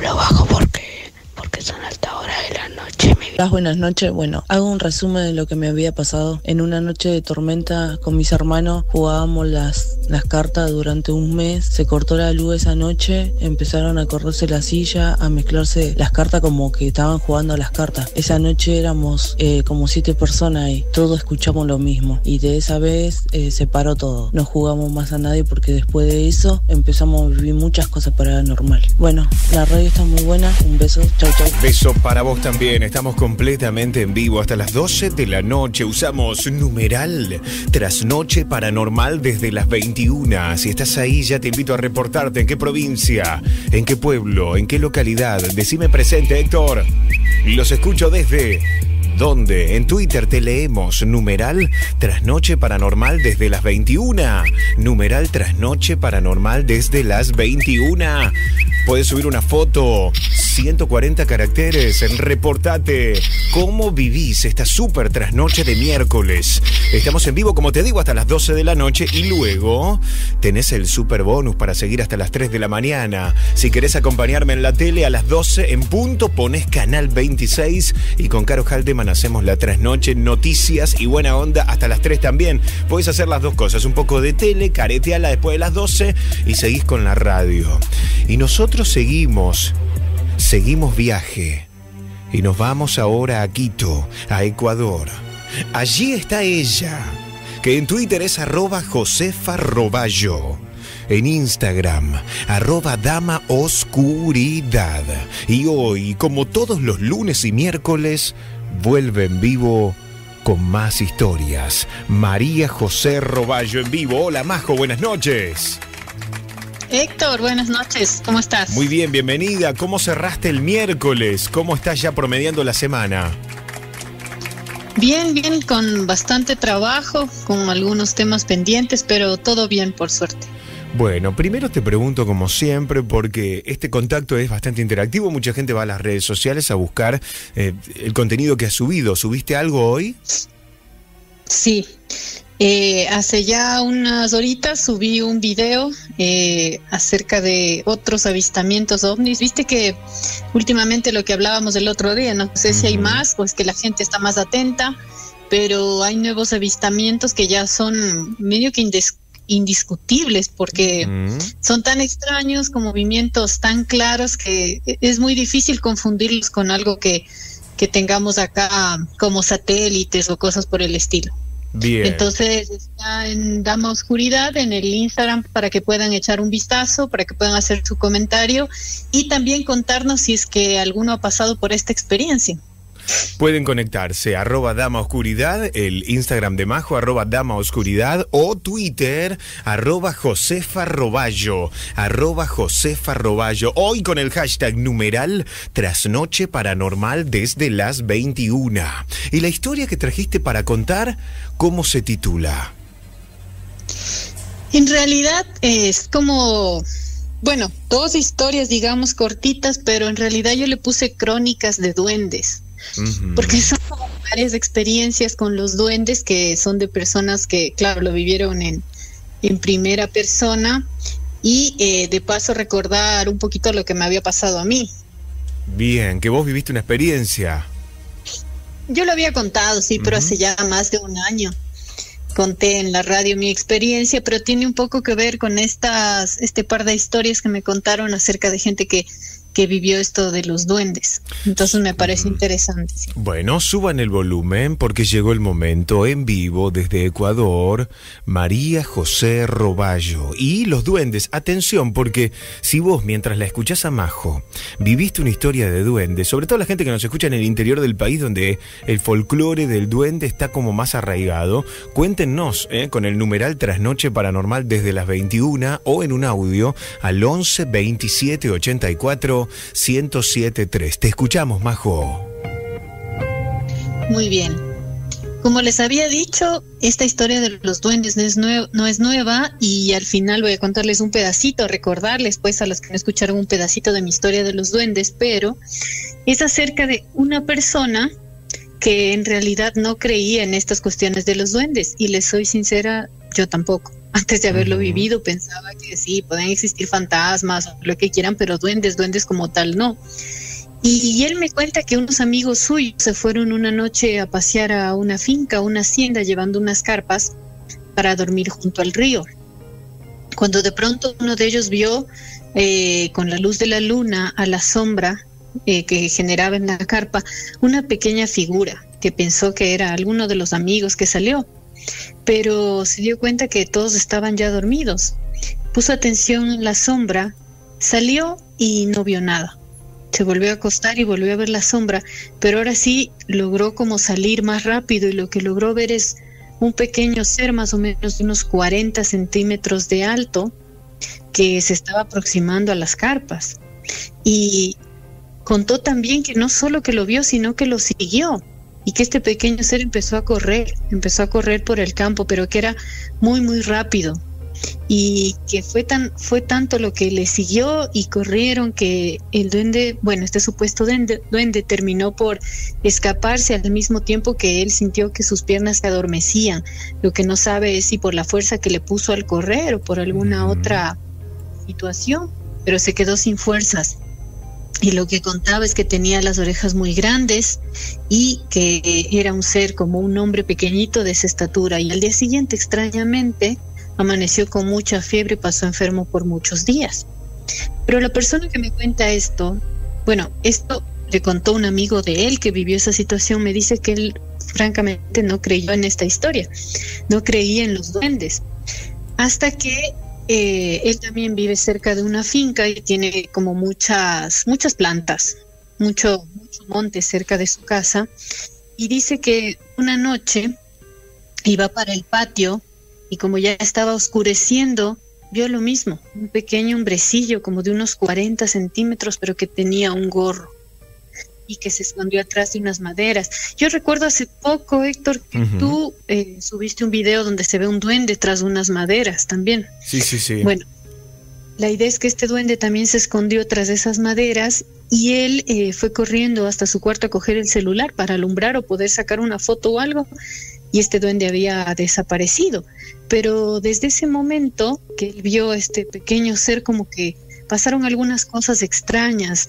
Me contaba que en su cuarto tiene una canasta donde guarda las medias, hecho bolita como se suele juntar por pares, y que de noche suele acostarse a dormir y pone llave en la puerta de su cuarto, de modo que no entra nadie más. Y que al día siguiente cuando se despertaba, todas las medias y algunas cosas amanecían desordenadas. Al punto que tuvo que llamar a su madre para preguntarle qué era lo que pasaba, si ella veía algo así y empezaron a notar que todas las noches algo extraño pasaba dentro de la casa hasta que un día él y su madre en un árbol que se veía desde el cuarto empezaron a ver cómo este árbol, esta mata se movía y los dos pudieron visualizar este duende pequeño que aparentemente vivía en el patio donde ellos tenían este árbol de frutas. Entonces dice que con el tiempo se acostumbraron a que vivieran ahí, ya no los molestó más, pero que sí ahora le consta que existen los duendes y a partir de eso les cuento a manera de resumen que mi experiencia también por irme a acampar, yo tuve la oportunidad de sentir un duende, no puedo decir que lo vi físicamente, pero sí lo escuché. No sé, Héctor, si te recuerdas de esa historia, pero el duende estuvo alrededor de la carpa, nos habló y cerca de las 3 de la mañana también se fue. Así que me consta que en estas crónicas de duendes realmente hay mucha más verdad que misterio. Señoras y señores, el aplauso es para María José Roballo en vivo. En este super miércoles, comentarios en Twitter, numeral trasnoche paranormal desde las 21. Con número, numeral trasnoche paranormal desde las 21. Majo, como siempre, excelente la historia. Seguimos en arroba Josefa Twitter, arroba Dama Oscuridad, Instagram y el próximo lunes volvemos completamente en vivo. ¿Qué te parece? Sí, sí, seguimos y decirte que te sigo viendo las noches, así que ahí voy mandando mensajitos. ¿Qué te parece? ¿Qué te parece que ahora le estamos metiendo mucho resumen de noticias porque se ve que a la gente le encanta estar informado con onda, ¿no? Le ponemos un poco de onda. Sí, sí, me gusta, como te dije, me gusta sobre todo la parte de los documentales que están excelentes, esos que están pasando y que le ponen también diversión. Bueno, hay de todo un poco, la verdad que sí me divierto y me acompañan hasta que me duermo, así que ahí te mensajeo. Excelente, gracias, Majo. Bueno, te voy a manguear algo, escucha, ¿me envías un video? Hoy cuando, si ves el noticiero esta noche, me envías un video con eh, YouTube de fondo y decís, estoy acá en Quito, Ecuador, así te pasamos al aire. Ah, dale, dale. Pero eh, ah, mándamelo a mí, mándamelo a mi WhatsApp, así ya me llega de una. Sí, sí, sí, sí, sí, ya. Eh, grabo el televisor y te mando un mensaje ahí hablado para que vean que los estoy viendo. Dale, y te muestro al aire, ¿eh? Si me lo mandas al WhatsApp, hoy lo muestro al aire. Sí, sí, sí, sí, cómo no. Excelente. Bueno, gracias, Majo. Nos vemos el lunes acá. Dale, un abrazo, hasta el lunes. Chau, chau. María José Roballo, completamente en vivo. Y vos, numeral trasnoche paranormal desde las 21, numeral. Trasnoche paranormal, desde las 21. ¿Son ustedes conscientes de estar siendo parte del éxito de las noches? ¿Son ustedes conscientes que desde hace más de siete años y medio somos imbatibles? ¿Son ustedes conscientes de la comunidad real, masiva, multitudinaria? ¿Son ustedes conscientes de la usina de energía positiva que es Trasnoche Paranormal? ¿Son ustedes conscientes que todas las noches lideramos las tendencias de Argentina como ahora numeral Trasnoche Paranormal desde las 21? Trending Topic Nacional numeral Trasnoche Paranormal desde las 21 y eso tiene que ver con vos. Este programa te tiene de verdad como protagonista y para festejar te voy a invitar a tuitear. Así llegué a la última hora de numeral trasnoche paranormal desde las 21. Así llegué a la última hora de numeral trasnoche paranormal desde las 21. Una foto, 140 caracteres, un video, lo que quieras. Así llegué a la última hora de numeral trasnoche paranormal desde las 21. Te invito en vivo. Es, más, arrobame. Arroba, arroba Héctor Locutor, poneme en ese, en ese tweet. Así llegué, arroba Héctor Locutor, a la última hora de numeral trasnoche paranormal desde las 21. Arrobame. Así llegué, arroba Héctor Locutor, a la última hora de numeral trasnoche paranormal desde las 21. Si todavía no te suscribiste a Bebana Radio, quiero suscribirme al 11 27 84 1073. Dale, quiero suscribirme al 11 27 84 1073. Envíame un WhatsApp ahora. Quiero suscribirme al 11 27 84 1073.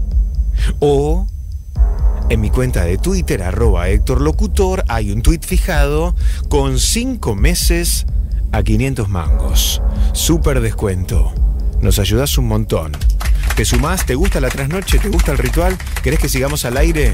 Más que nunca, hoy con el dólar a 130 mangos. Más que nunca, ayúdanos a seguir. Suscríbete, por favor.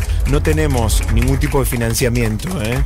Lo hacemos con el esfuerzo nuestro y con el aporte de los suscriptores. Ayúdanos, 150 mangos por mes o lo que puedas. Escribime al WhatsApp.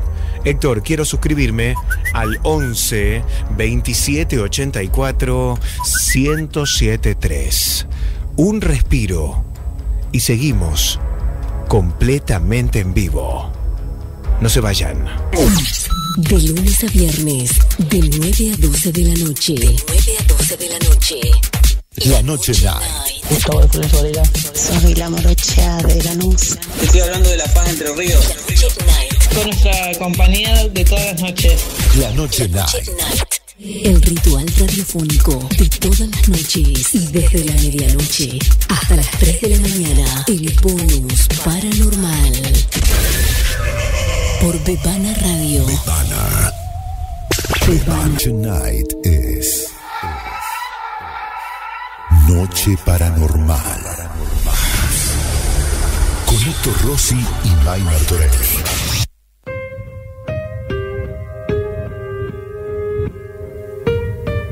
Son historias reales contadas por sus protagonistas en vivo.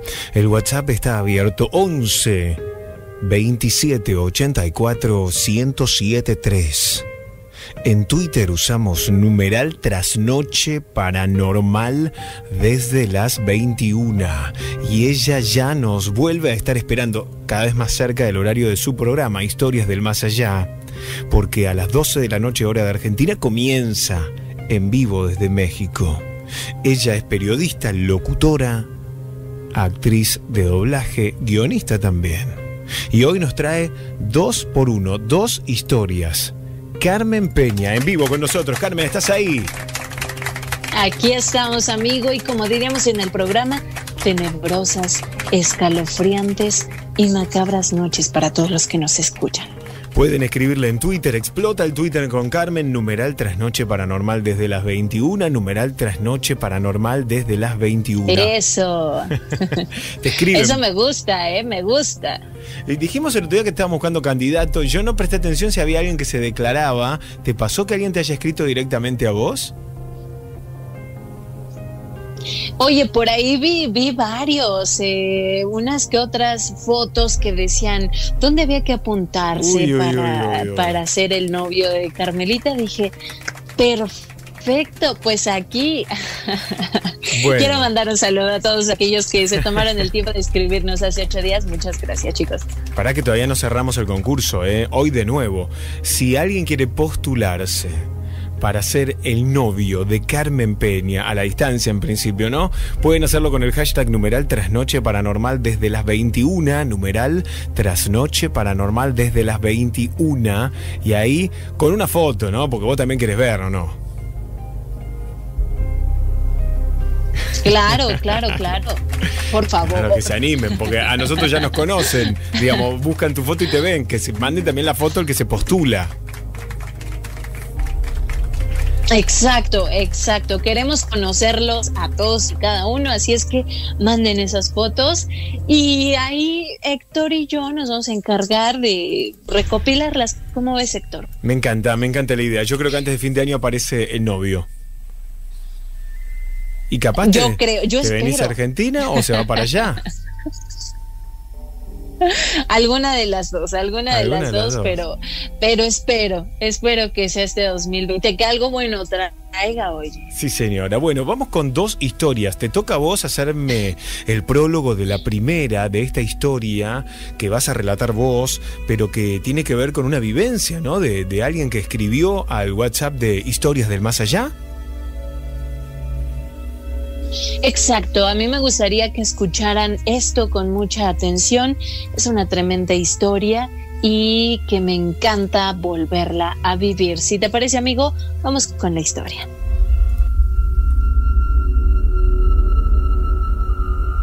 Él siempre ha estado conmigo. Sí, en cada paso importante que doy en mi vida. Él es mi soporte, mi guía, mi amigo. Esta noche quiero contarles mi historia. Probablemente les parezca absurda, pero puedo jurarles que es real. Conocí a mi esposo Leo hace tres años. Claramente no fue amor a primera vista, ni a segunda, ni a tercera. La realidad es que, con todos los detalles que tenía conmigo, poco a poco se fue ganando mi corazón, hasta que me vi completamente enamorada de él y él de mí. A los dos años de novios decidimos casarnos y puedo decirles que los primeros meses de matrimonio han sido la mejor etapa de mi vida, la más feliz, la más plena. Vivir juntos nos permitió enamorarnos aún más pese a los grandes defectos de cada uno. Recuerdo bien que recién que nos casamos, Leo me dejaba todas las mañanas una flor del jardín justo en el buró que está a un lado de nuestra cama. Yo despertaba y lo primero que veía era esa flor junto con un pedazo de hoja que tenía escrito Jamás me iré de ti. Siempre era esa frase, siempre. Una vez Leo me explicó que cada que se despertaba a mi lado, ese era su primer pensamiento, jamás me iré de ti. Por eso quería que yo lo supiera a través de su letra. En fin, todo era miel sobre hojuelas, como dicen por ahí, hasta que todo cambió de manera abrupta, dolorosamente, de tajo. Yo caí en una tremenda depresión, me derrumbé al abismo y Leo, Leo me dejó sola en eso. No cumplió la promesa que hizo frente al altar, en las buenas y en las malas. Tampoco aquella que a diario me prometió en un papel, jamás me iré de ti. Para ser clara, Leo se fue, me abandonó. Pasaron varios meses y yo no podía superar su ausencia. ¿Por qué lo hizo? ¿Por qué se fue? En esa oscura soledad le imploré a Dios que Leo volviera conmigo. No me importaba cómo ni por qué, pero que regresara. Por favor, Dios, tráelo de vuelta. Te lo suplico. Leo volvió. Sí, mi esposo estaba de nuevo conmigo. No puedo decirles a qué hora entró a nuestra casa, solo recuerdo que cuando desperté, él estaba detrás de mí, susurrándome al oído, jamás me iré de ti. Volví a ser esa mujer plena y feliz. Pero Leo comenzó a actuar raro. siempre se estaba escondiendo. Cuando alguien llegaba a visitarnos, él me decía que no dijera nada acerca de él, que no quería hablar con nadie. Por el gran amor que le tengo, yo caí en su juego, pero eso me enloqueció. Mi esposo me despertaba en las madrugadas para recordarme cuánto me quería, pero todas esas noches de insomnio comenzaban a alterar mis nervios. Leo, ya, deja de hacerlo. ¿Qué no ves que me estoy enfermando? ¿No te das cuenta lo demacrada que estoy? Por favor. Pero él no cambiaba. Las cosas seguían igual y yo comencé a alejarme de mis seres queridos, casi pierdo mi empleo y para colmo, casi todos pensaban que yo estaba loca, pues varios amigos me ofrecieron ayuda, pero yo la rechazaba. Déjeme en paz. A ver, mi esposo y yo estamos bien, no necesitamos nada, ¿ok? Pero Leo no me ayudaba. Cada vez era más extraño y su presencia comenzaba a darme escalofrío. Sus notas con la frase jamás me iré de ti comenzaron a aparecer en toda la casa y a todas horas él ponía en el estéreo nuestra canción. Eso ya me estaba espantando mucho. Una mañana, mi madre llegó a mi casa y me dijo bruscamente, Hija, despierta. Tienes que dejar que Leo se vaya. Deja de retenerlo a la fuerza. Por favor, hija, acepta la realidad. No quiero más pérdidas.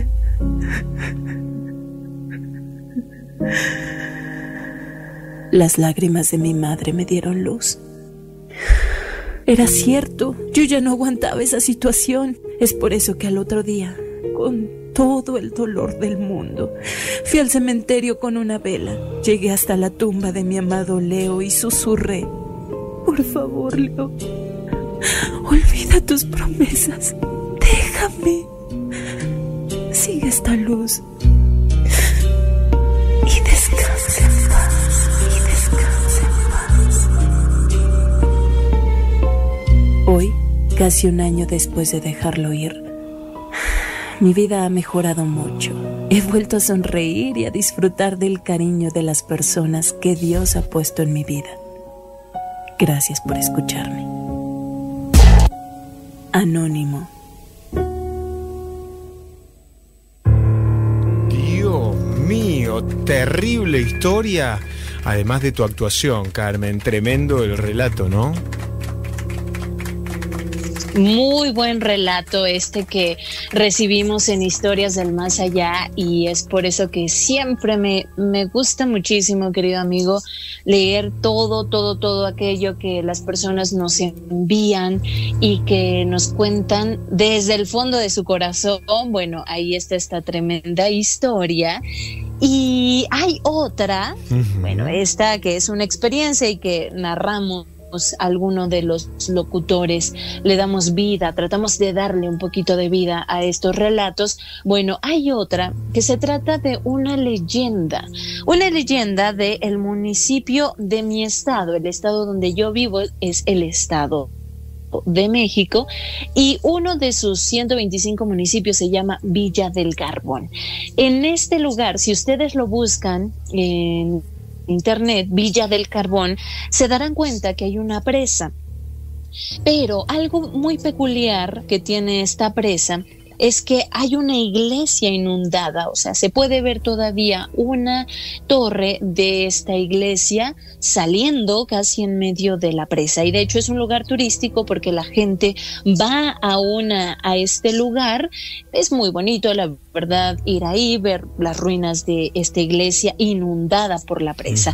Bueno, pues obviamente esto trae una leyenda muy famosa aquí en el Estado de México y a mí me gustaría que ustedes la escucharan esta noche. Cuentan que el 6 de junio de 1935, el pueblo tomí de San Luis de las Peras quedó totalmente sumergido bajo las aguas de la presa Tashimay. Los habitantes que habían fundado su comunidad desde 1536 no estaban de acuerdo, sin embargo tuvieron que huir cuando comenzó la inundación. Miles de litros habían dejado bajo el agua esa comunidad de Villa del Carbón en el Estado de México.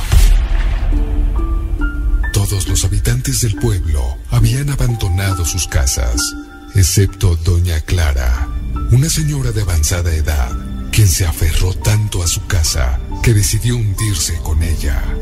Cuentan que el agua comenzó a tapar las casas del pueblo y la señora Clara podía verse en la azotea de su casa con el agua hasta los tobillos. Sin embargo, nadie podía hacerle entrar en razón para que saliera de ahí. Al día siguiente, los habitantes aledaños a la presa vieron que no había rastro de aquel pueblo, excepto por la torre de la iglesia, que hasta la fecha puede verse en medio del agua. En ese momento todos se preguntaron, ¿Qué habrá sido de doña Clara? ¿Qué le habrá pasado a esa pobre mujer? Nadie supo qué había pasado con doña Clara. Sin embargo, tiempo después, en una tarde fría y nublada, un hombre llevó a su caballo a la orilla de la presa Tashimai para que bebiera agua. Cuando de repente, un cuerpo de una mujer anciana salió a flote, con un vestido blanco roto y enlodado, lleno de pequeñas ramas y salamandras que recorrían su figura. Al ver esa horrible aparición, el caballo reparó y relinchó con fuerza. El señor aterrorizado comenzó a correr para alejarse de la presa. Sin embargo, una fuerza lo atraía hacia el lago, mientras el cuerpo de la anciana se levantaba y caminaba sobre el agua.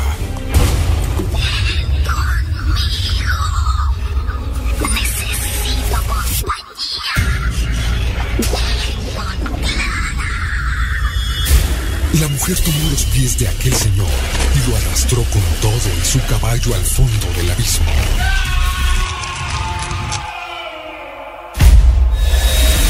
Cuenta la leyenda que quien visita la presa de Tashimai en Villa del Carbón podría nunca regresar a casa.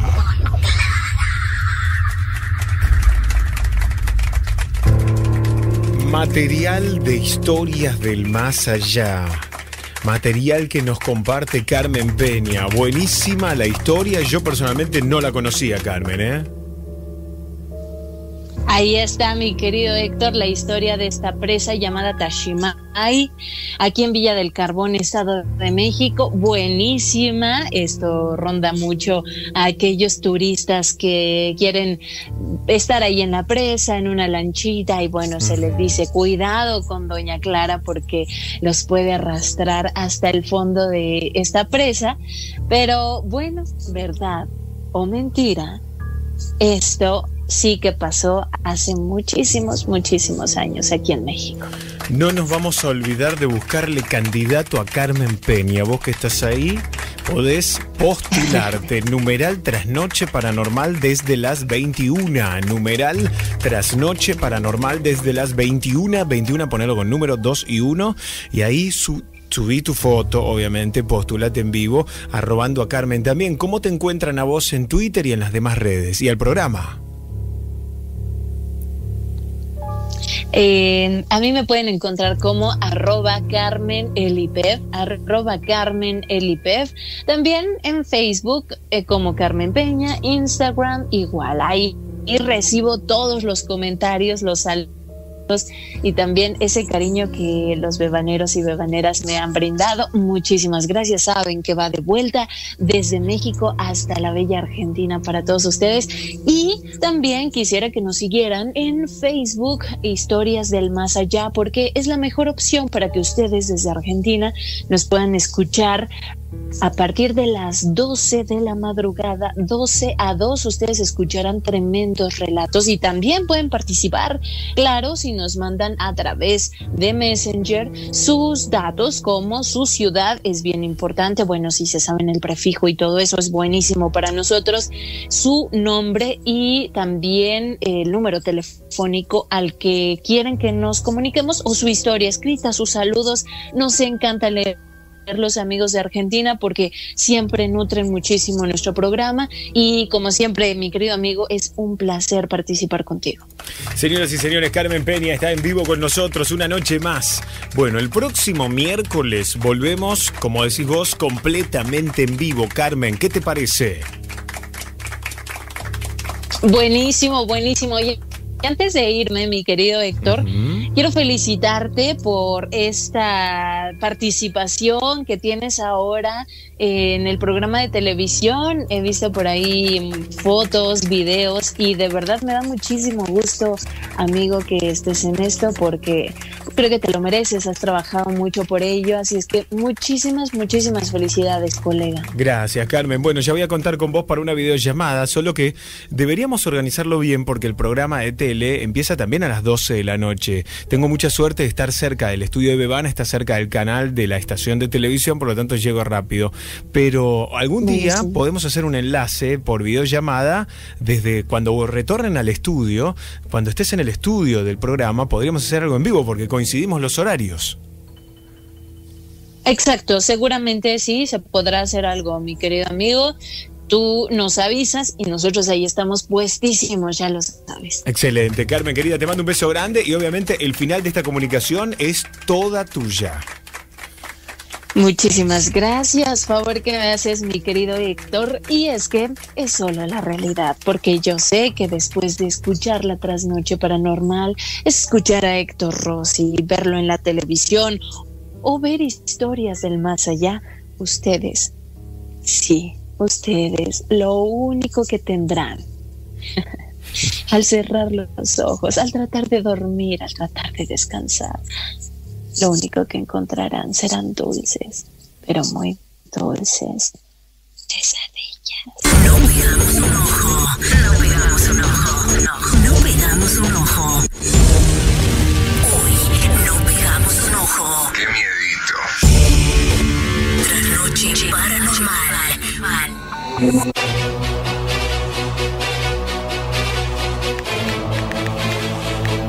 Llegó el momento. Ya estoy listo. Ya estoy lista. Para la historia central, estreno numeral. Trasnoche paranormal desde las 21. Todos en vivo. Ya estoy listo. Ya estoy lista. Para la historia central, estreno numeral. Trasnoche paranormal desde las 21. En vivo en Twitter. Ya estoy listo. Ya estoy lista. Para la historia central estreno numeral Trasnoche Paranormal desde las 21.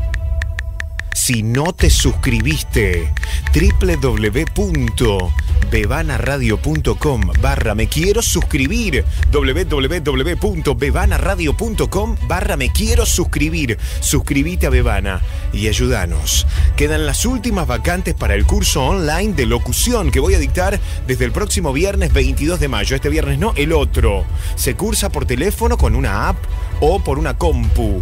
Si querés inscribirte, te gusta la locución, la radio y el podcast, no hay ningún requisito que te deje afuera porque pensé el curso abierto a todo público. Si sentís que es tu vocación, no lo dudes. Aprendé conmigo locución. Más de 20 años trabajando y he sido docente además del ICER y de la Universidad de La Matanza. Por eso te aseguro que la vamos a pasar espectacular. Se cursa los viernes, hay cuatro horarios. Elegí el tuyo, últimas vacantes. Mandame un WhatsApp si te interesa el curso de locución. Héctor, pasame data del curso al 11 27 84 1073. Podés cursar desde cualquier provincia, podés cursar desde cualquier país porque es online. Héctor, pasame data del curso 11 27 84 1073. Suban el volumen. Historia central. Estreno. En el aire. Esta es la historia real de la niña oculta en primera persona. Primero, antes de contarles esta historia, quisiera que supieran algo de mí. Me llamo Néstor, tengo 45 años, soy viudo y tengo una hija de 5. Nací en Sierras Vallas, partido de Olavarría. Allí pasé toda mi infancia junto a mis padres, pero ahora vivo lejos, en aquella época, Sierras Vallas era un pequeño pueblo, con pocas casas y casi no había crímenes. Tuve una hermana tres años menor, que cuando tenía dos años desapareció sin dejar rastro.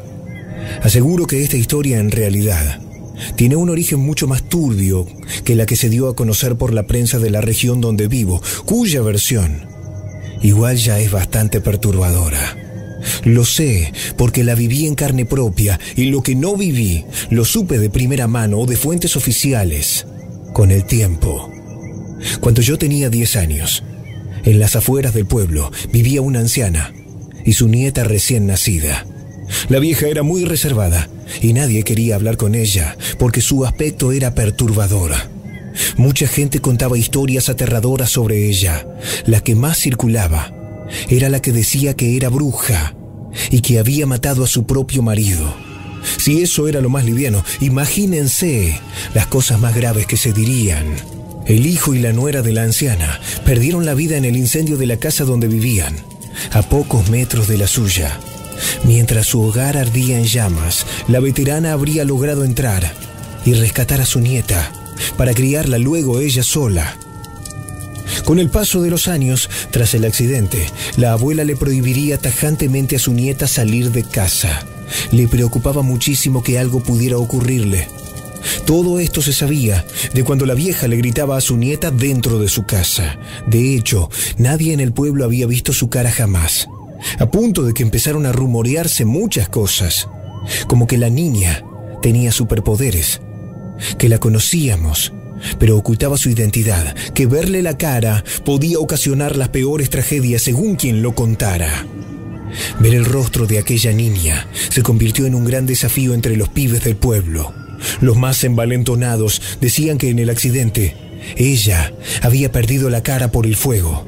Los más racionales argumentaban que simplemente la vieja se había vuelto loca y nada más la tenía encerrada en su casa. A veces, si alguien se internaba en el bosque cercano a aquella casa, podía verse su silueta totalmente quieta, mirando por la ventana. Pero por los ángulos de visión, nunca podía divisarse su rostro. Yo mismo pude verla una vez de espaldas, con el pelo rubio cayendo sobre los hombros, de un vestido blanco. Necesitaba ver y saber más. Esa chica tenía mi edad, porque el accidente había ocurrido el mismo día que nací.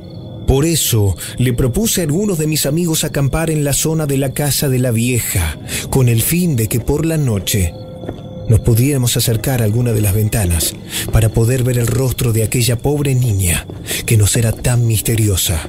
Fuimos con Hernán, Nico, el ruso Daniel, el turco Alejandro y su hermano mayor, Cristi. Los padres de Nico tenían una carpa importada que era mejor que la casa que teníamos varios, así que aprovechamos y nos pusimos entre unos árboles, cuidando de no perder ninguna linterna ni fuego para no ser observados desde dentro de la casa. Aquella zona era puro bosque. Las pocas casas que habían estaban a un centenar de metros de la zona.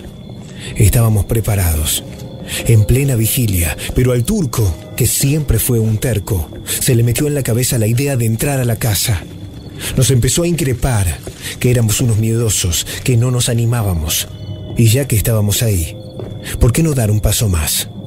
El resto de los chicos nos negamos rotundamente, pero en un momento Hernán me tocó el hombro y vi que el hermano mayor del turco, el Cristi, estaba encarando para la casa, aunque todos teníamos miedo de ser castigados por nuestros padres y también un poco por la vieja. Decidimos entrar todos juntos con la condición de no separarnos y salir corriendo al más mínimo problema. Ni bien ingresamos por la puerta trasera de la cocina, notamos que la casa de la anciana tenía ese típico olor antiguo a naftalina que tienen los hogares de los viejos. Intentábamos encontrar la habitación de la nieta sin ser descubiertos. Para nuestra desgracia, la encontramos. Cuando entramos en aquella habitación, noté que algo no andaba bien. Según mis cálculos, la niña debía tener también 10 años, pero encontramos allí una cuna con un bebé recostado en ella. Al ver su rostro, Nico gritó asustado y quien más, quien menos. Cada uno lanzó un grito, un insulto, un gemido o una arcada. Lo que descansaba en aquella cuna era el bulto de carne semicarbonizado y momificado que en vida debió ser el de una bebé, al que se le habían agregado dos bolitas de esas para jugar, donde deberían estar sus ojos, y debajo un corte al que le había metido un rejunte de dientes de animales y le daba la forma de una boca monstruosa. Hernán nos dijo en voz baja que seguro que cuando fue el accidente, aquella vieja alcanzó a sacar el cuerpo de su nieta, pero ya sin vida. Escuchamos ruidos de pisadas en el piso de madera y los gritos de pánico que terminamos largando todos. Despertaron a aquella vieja. Salimos corriendo, nos subimos a nuestras bicicletas y ni siquiera Nico se acordó de desarmar y juntar la carpa. Fuimos directo a la comisaría del pueblo y contamos lo que pasó. El Cristi, que es el mejor mentiroso que conocí, le dijo al policía que nos habíamos mandado una macana al entrar ahí, pero que estábamos acampando. Escuchamos gritos y pensamos que le pasaba algo a la vieja. Los policías mandaron un móvil. Lo que encontraron fue tema de conversación en el pueblo por años. Aquella anciana tenía en otra de las habitaciones pilas de carpetas con información de absolutamente todos los chicos que habitaban Sierras Vallas, fecha y hora de nacimiento, enfermedades, rendimiento escolar, árbol genealógico hasta cinco generaciones atrás. Y relaciones de parentesco con otros chicos del pueblo. En la biblioteca, dos centenares de libros relacionados a la brujería, magia negra y necromancia. Cinco tomos de necromancia. Estaban recubiertos con cuero de piel humana. Pero eso no es lo más aterrador. Lo más impresionante fue que debajo de la casa se encontraron los restos de una chiquita de dos años que había desaparecido hacía cinco. Esa niña se averiguó en la autopsia. Era mi hermanita. La vieja fue llevada a un neuropsiquiátrico. Todos creyeron al principio que ella intentaba transferir el espíritu que creía tener en aquella masa informe de carne quemada al cuerpo de una niña viva, pero estaban todos equivocados. La vieja asquerosa esa jamás se aferró siquiera con cariño al bulto de carne muerta que era su pobre nieta. Desde que se la llevaron, ella solo preguntó y aún lo sigue haciendo por la muñeca de trapo que tenía en su cuarto y todos creímos que era el de su nieta. Esa muñeca era la silueta que paseaba por las ventanas y que todos los habitantes pensábamos que era su nieta. Por supuesto que se la negaron, peritaron a aquella muñeca y dentro tenía un pequeño, duro y oscuro corazón. Lo analizaron. Pertenecía por antigüedad y posible edad del cuerpo de donde había provenido a su propia nieta. El resto de la muñeca era igual de repugnante. Varias partes internas habían sido reemplazadas y eran de carne humana. Esa vieja no buscaba poner el alma de su nieta en un cuerpo, sino ese rejunte de cuerpos que era su muñeca. Metieron aquello en el Museo Policial de la Bonaerense en La Plata, en un apartado especial al que no todos acceden. La abuela de la niña quemada aseguraba que dentro de esa mezcla de muñeca y monstruo de Frankenstein se encontraba el alma de su nieta y que buscaría incluso en el neuropsiquiátrico la forma de pasar el alma de su nieta desde aquella muñeca a alguna niña del pueblo. Esto pasó hace 35 años. Decidí traerles esta historia y contárselas, ya que esto fue lo que vi, escuché y sentí al vivir esta historia en carne viva. Y porque además, hace días me llamó el abogado de la causa de mi hermana menor, ya jubilado. Me contó que un comisario amigo lo llamó para decirle que ese rejunte de tejidos humanos y de tela con alma de aquella pobre niña quemada desapareció misteriosamente del museo cuando estando cerrado rompieron un vidrio desde dentro y sobre todo porque desde hace dos noches y mientras les cuento esto puedo verla desde la ventana de mi habitación en un primer piso. Cómo intenta ingresar a mi casa para vengar a su abuela la policía no me cree y temo por mi hija aquella muñeca con el alma de la niña quemada nunca tuvo amor. Pero ahora inspira temor. Quiere matarnos pero ¿Cómo se atreven ella y su abuela a jugar así con la vida y la muerte? Bomberos de la policía bonaerense confirman el incendio de una casa en las afueras de City Bell, que era habitada por un padre de 45 años y su hija de 5. Hallaron el cuerpo calcinado del hombre, pero se desconoce el paradero de la niña. Ante cualquier información, se solicita que la ciudadanía se comunique con el personal policial. Esta historia es real.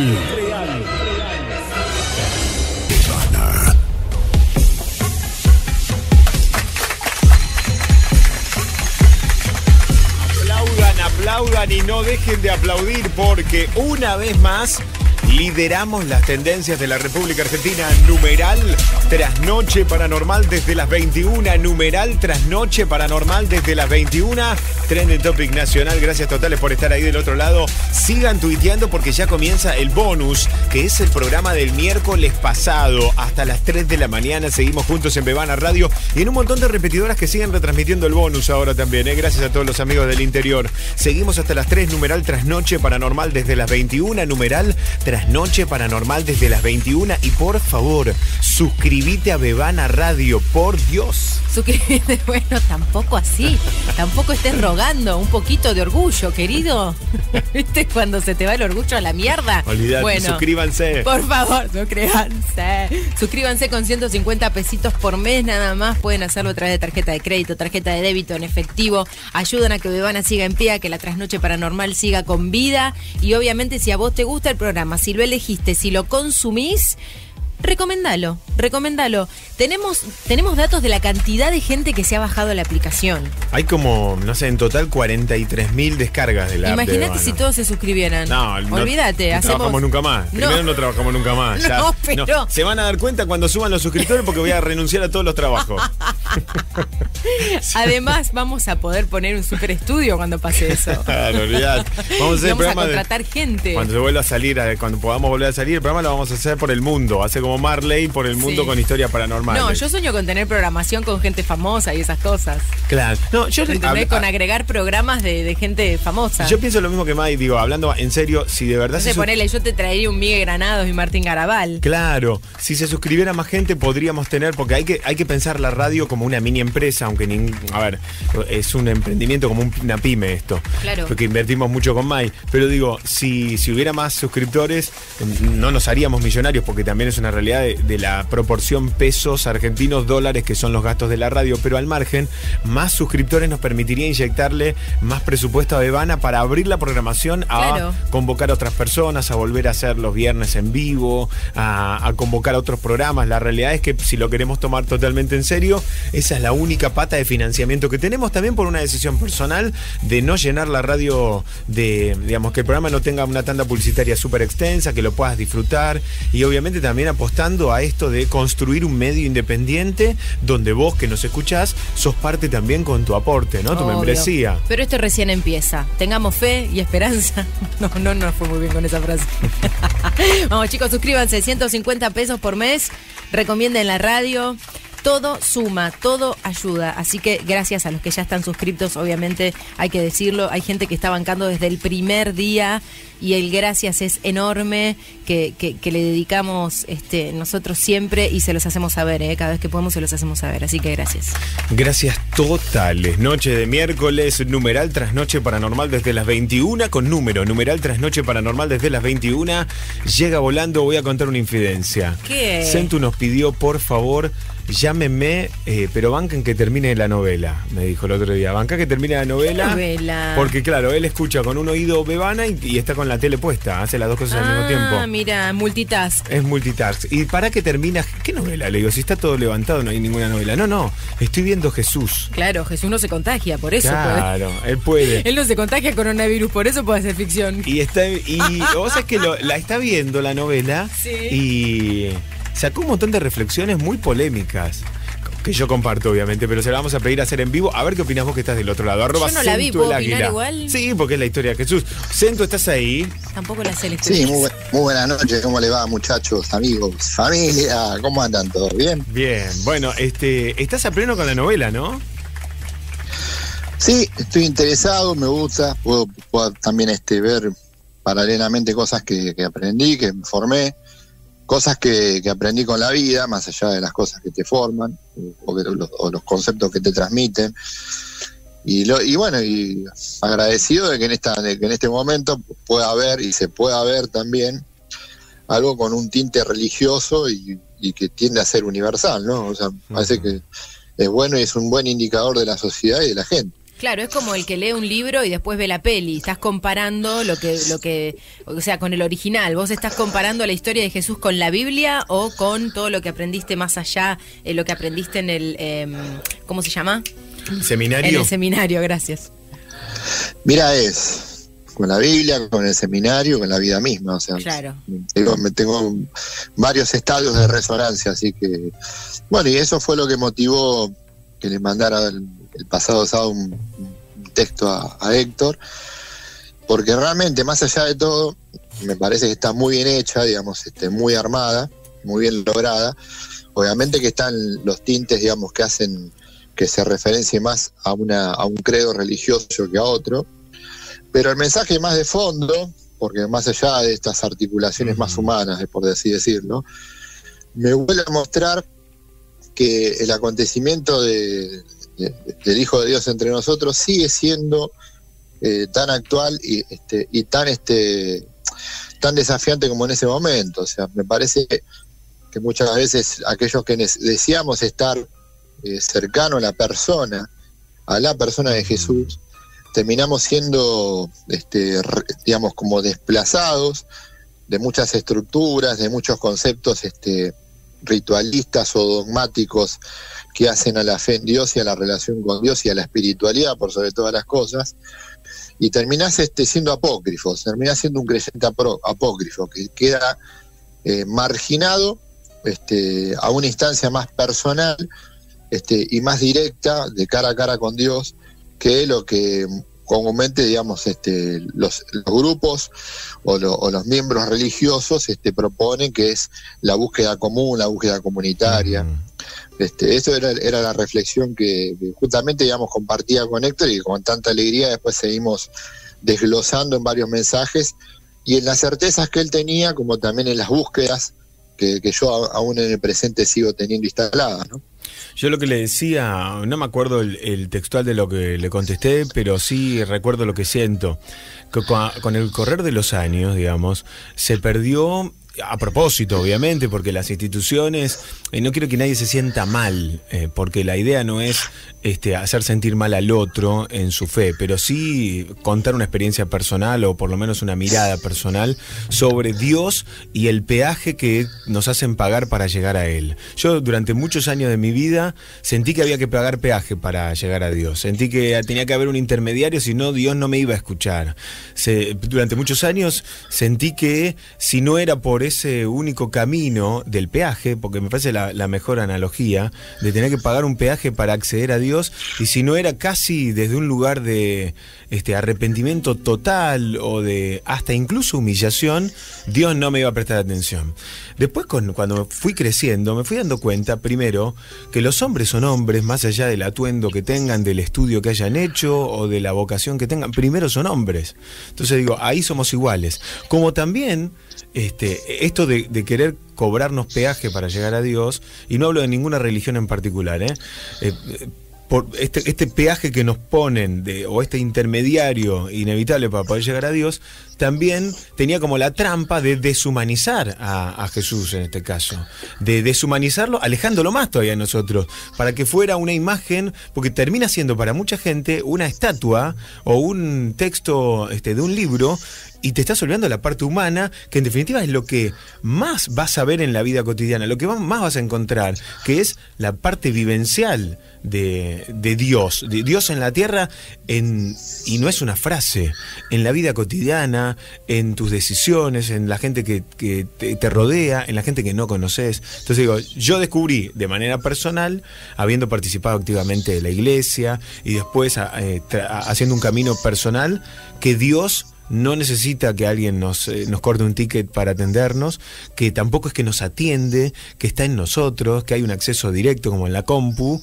pero claro, tiene que ser una decisión, ¿no? Y que obviamente esto eh, genera mucha polémica porque también hay un negocio detrás de ese peaje, como otro peaje hay que pagar un precio, ¿no? Digo, esta es mi reflexión, yo no sé si en tú compartís o May, pero es lo que yo sentí. En mi propia búsqueda descubrí que el Dios más verdadero no estaba dentro de un templo. Yo, entre comillas, uso a los templos de cualquier religión y respeto a los demás, yo los uso como espacios de meditación, porque me parece que hay una energía especial para eso. Pero Dios está conmigo todo el tiempo y no necesito correrme del lugar en el que estoy, porque el templo es mi cuerpo, digo, para, para terminar de, sacar una conclusión. Pero esta es mi mirada, no sé si es la tuya, Sentú. No, sí, yo, como te decía, y, y como también ahora lo vuelvo a reafirmar, no solamente es mi mirada, sino también es la vivencia, en la cual, digamos, desde hace mucho tiempo, pero de manera más consciente, digamos, estoy celebrando en este momento, de que, bueno, no, no, no hay que andar dando tanta, tanta explicación o, tanto, tanto rodeo para poder presentar a la persona de Cristo y, y en definitiva a la persona misma del, del Padre, ¿no? Me parece que, como bien decías vos, este, y que también lo decía Charlie, si no, si no en esto sí tenemos que decir que, tiene razón Charlie, que Dios es empleado en un mostrador, este, da para recibir, y no creo que sea, sea la intención de Charlie, tampoco sea nuestra intención en esta charla, tenemos que dejar de lado un montón de velos que nos van alejando de un misterio que es permanentemente este, en directo. Eh, mira, así como hoy nos sorprendemos cada vez que entramos y vemos que hubo una aparición de un fantasma, que hubo tal cosa que, que- que- que se reveló en tal lugar, tal espectro, nosotros no- nos damos cuenta que hay portales que están abiertos permanentemente para este tipo de situaciones sobrenaturales y que el programa también siempre la- la- las, las- las- las propone para que no solamente podamos pensarlo, divertirnos, sino también este, tener una mirada más allá de lo que evidentemente nosotros comprendemos. Pero también hay un portal, y en esto yo estoy seguro, convencido, y lo afirmo y lo confirmo, un portal permanente de encuentro con, con alguien, que es con Dios, y, ese por- y en ese portal se abren muchas situaciones personales, particulares, del misterio de cada uno, que tienen que ver con una vida trascendente que ya está en esta vida. O sea, pensar la, la- la- la dimensión religiosa sin humanidad es negar el misterio central de muchas religiones, que es que Dios hizo hombre, que Dios se encarnó y que Dios está presente en esta historia. Cuando nosotros deshumanizamos a la persona de Cristo y todo lo que conlleva al encuentro con Dios, yo creo que estamos haciendo una apostasía de nuestra mayor dignidad, que es la dignidad de ser personas y de permitirle a Dios que nos complemente, nos acompañe, nos bendiga y por sobre todas las cosas nos enriquezca en este presente, en este, con este don tan hermoso que es ser persona. Dios es un Dios personal, es un Dios que nos encuentra, es un Dios que nos habla, como decimos cada noche, es un Dios que nos abraza, es un Dios que no está poniendo una tranquera y poniendo lejanía, es un Dios que sabe romper las barreras y que permanentemente está llegando a nuestra vida en mil acontecimientos, en mil situaciones, desde las más sencillas hasta las más complejas. Y cuando vos ves que algunos tratan de instrumentalizar eso y estructurarlo, ahí sí es cuando se genera la rebeldía. Es más, hay una cosa que en la novela yo modificaría. Yo a Jesús lo quiero de pelo largo, porque si no tiene el pelo largo, para mí Jesús no tiene rock and roll. Claro. Mirá, todo empezó con esta, con la novela que seguramente muchos ven también. Y está bueno para, para charlar, ¿no? Porque en definitiva es eso.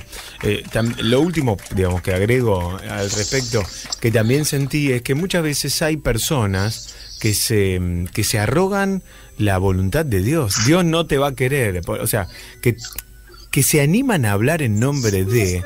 Y es tremendo. Es tremendo por ellos y es tremendo por aquellos que creen esa palabra, ¿no? Que en definitiva la está diciendo un hombre que, que también puede manipularte. Porque es cierto, digamos, forma más parte del ego que de cualquier otra cosa positiva, ¿no?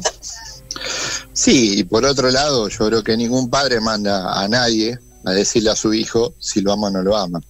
Cuando el padre tiene que decir algo, viene en persona. Así que a, a aquellos que vienen a definirme a mí que Dios no me quiere, le digo, bueno, macho, te doy una un abrazo grande, vos seguí para allá, que yo sigo en mi vida. Claro. El padre me viene a decir que las cosas cara a cara. Es el, eh, porque yo creo que mi Dios es padre, y para siempre.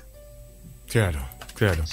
Bueno, si obviamente alguien piensa esto o, distinto, también lo leemos. Numeral Trasnoche Paranormal desde las 21. Numeral Trasnoche Paranormal desde las 21. Pero ahora es el momento de la bendición de Alejandro Centurión. 17, 18, 19, 20. Salgo a buscar Piedra Libre, acá está, César Maure, Piedra Libre, Maure, Ma- Maruquín, Maruquín, vení para acá, Esteban, a vos allá, escondido atrás del micrófono, vení, vení, sentate acá. Bueno, nos salió a buscar y nos encontró.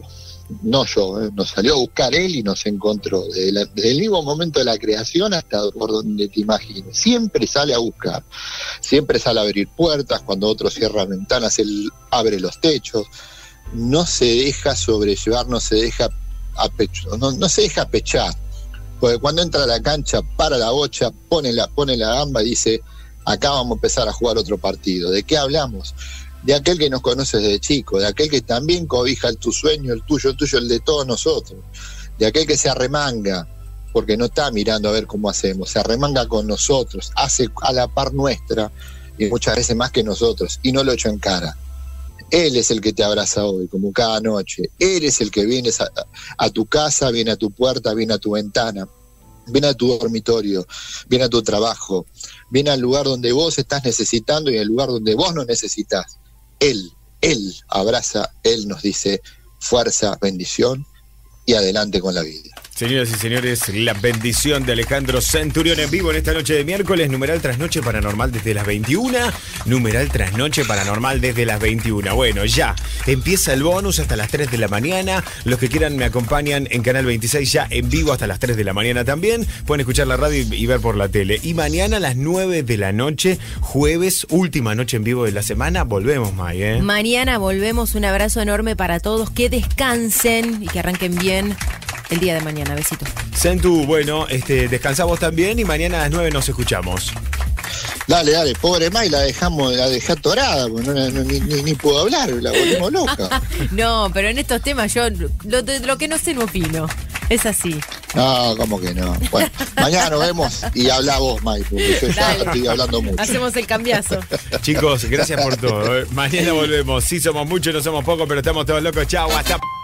Bueno, amiguitos, gracias por quedarse hasta acá. Este es un cuento para cerrar esta noche de miércoles que se titula El monje y el helado. Y les va a gustar.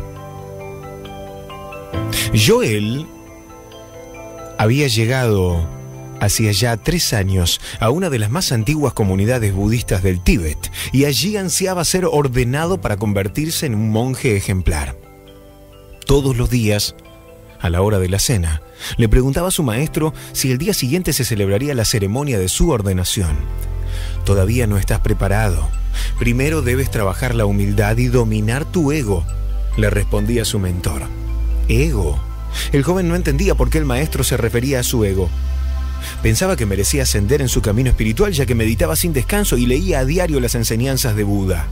Un día, al maestro se le ocurrió una manera de demostrarle a su discípulo que todavía no estaba preparado. Antes de dar comienzo a la sesión de meditación, anunció, quien medite mejor tendrá como premio un helado. De chocolate, añadió el anciano.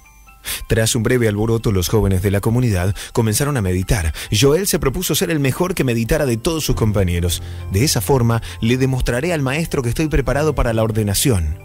Y me comeré el helado. Joel consiguió centrarse en su respiración. Pero al mismo tiempo, visualizaba un gran helado de chocolate que iba y venía. Como subido en un columpio. No puede ser. Tengo que dejar de pensar en el helado u otro lo ganará.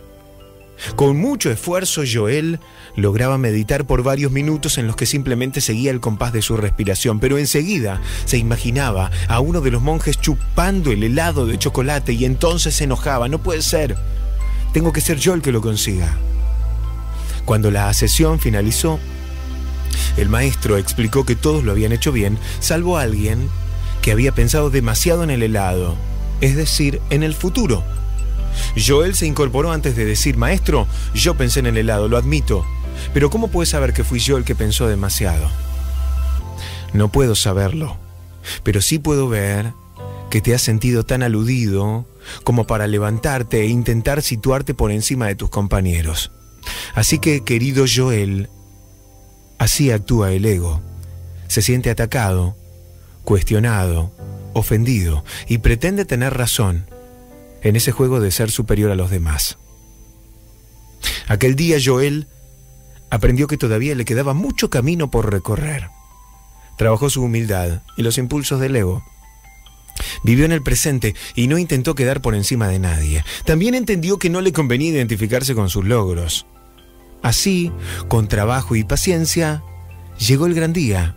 Fue aquel en el que el maestro llamó a su puerta para anunciarle que por fin estaba preparado para lo que tanto había ansiado. Cuando llegó al templo no encontró a nadie, solo una pequeña tarima y sobre ella un gran helado de chocolate. Joel consiguió disfrutar del helado agradecido, sin sentirse decepcionado. Y a continuación, lo ascendieron. Cada persona tiene su particular helado de chocolate, aquello que anhela conseguir. El problema reside en tener la mente puesta en él, impidiéndonos disfrutar del presente.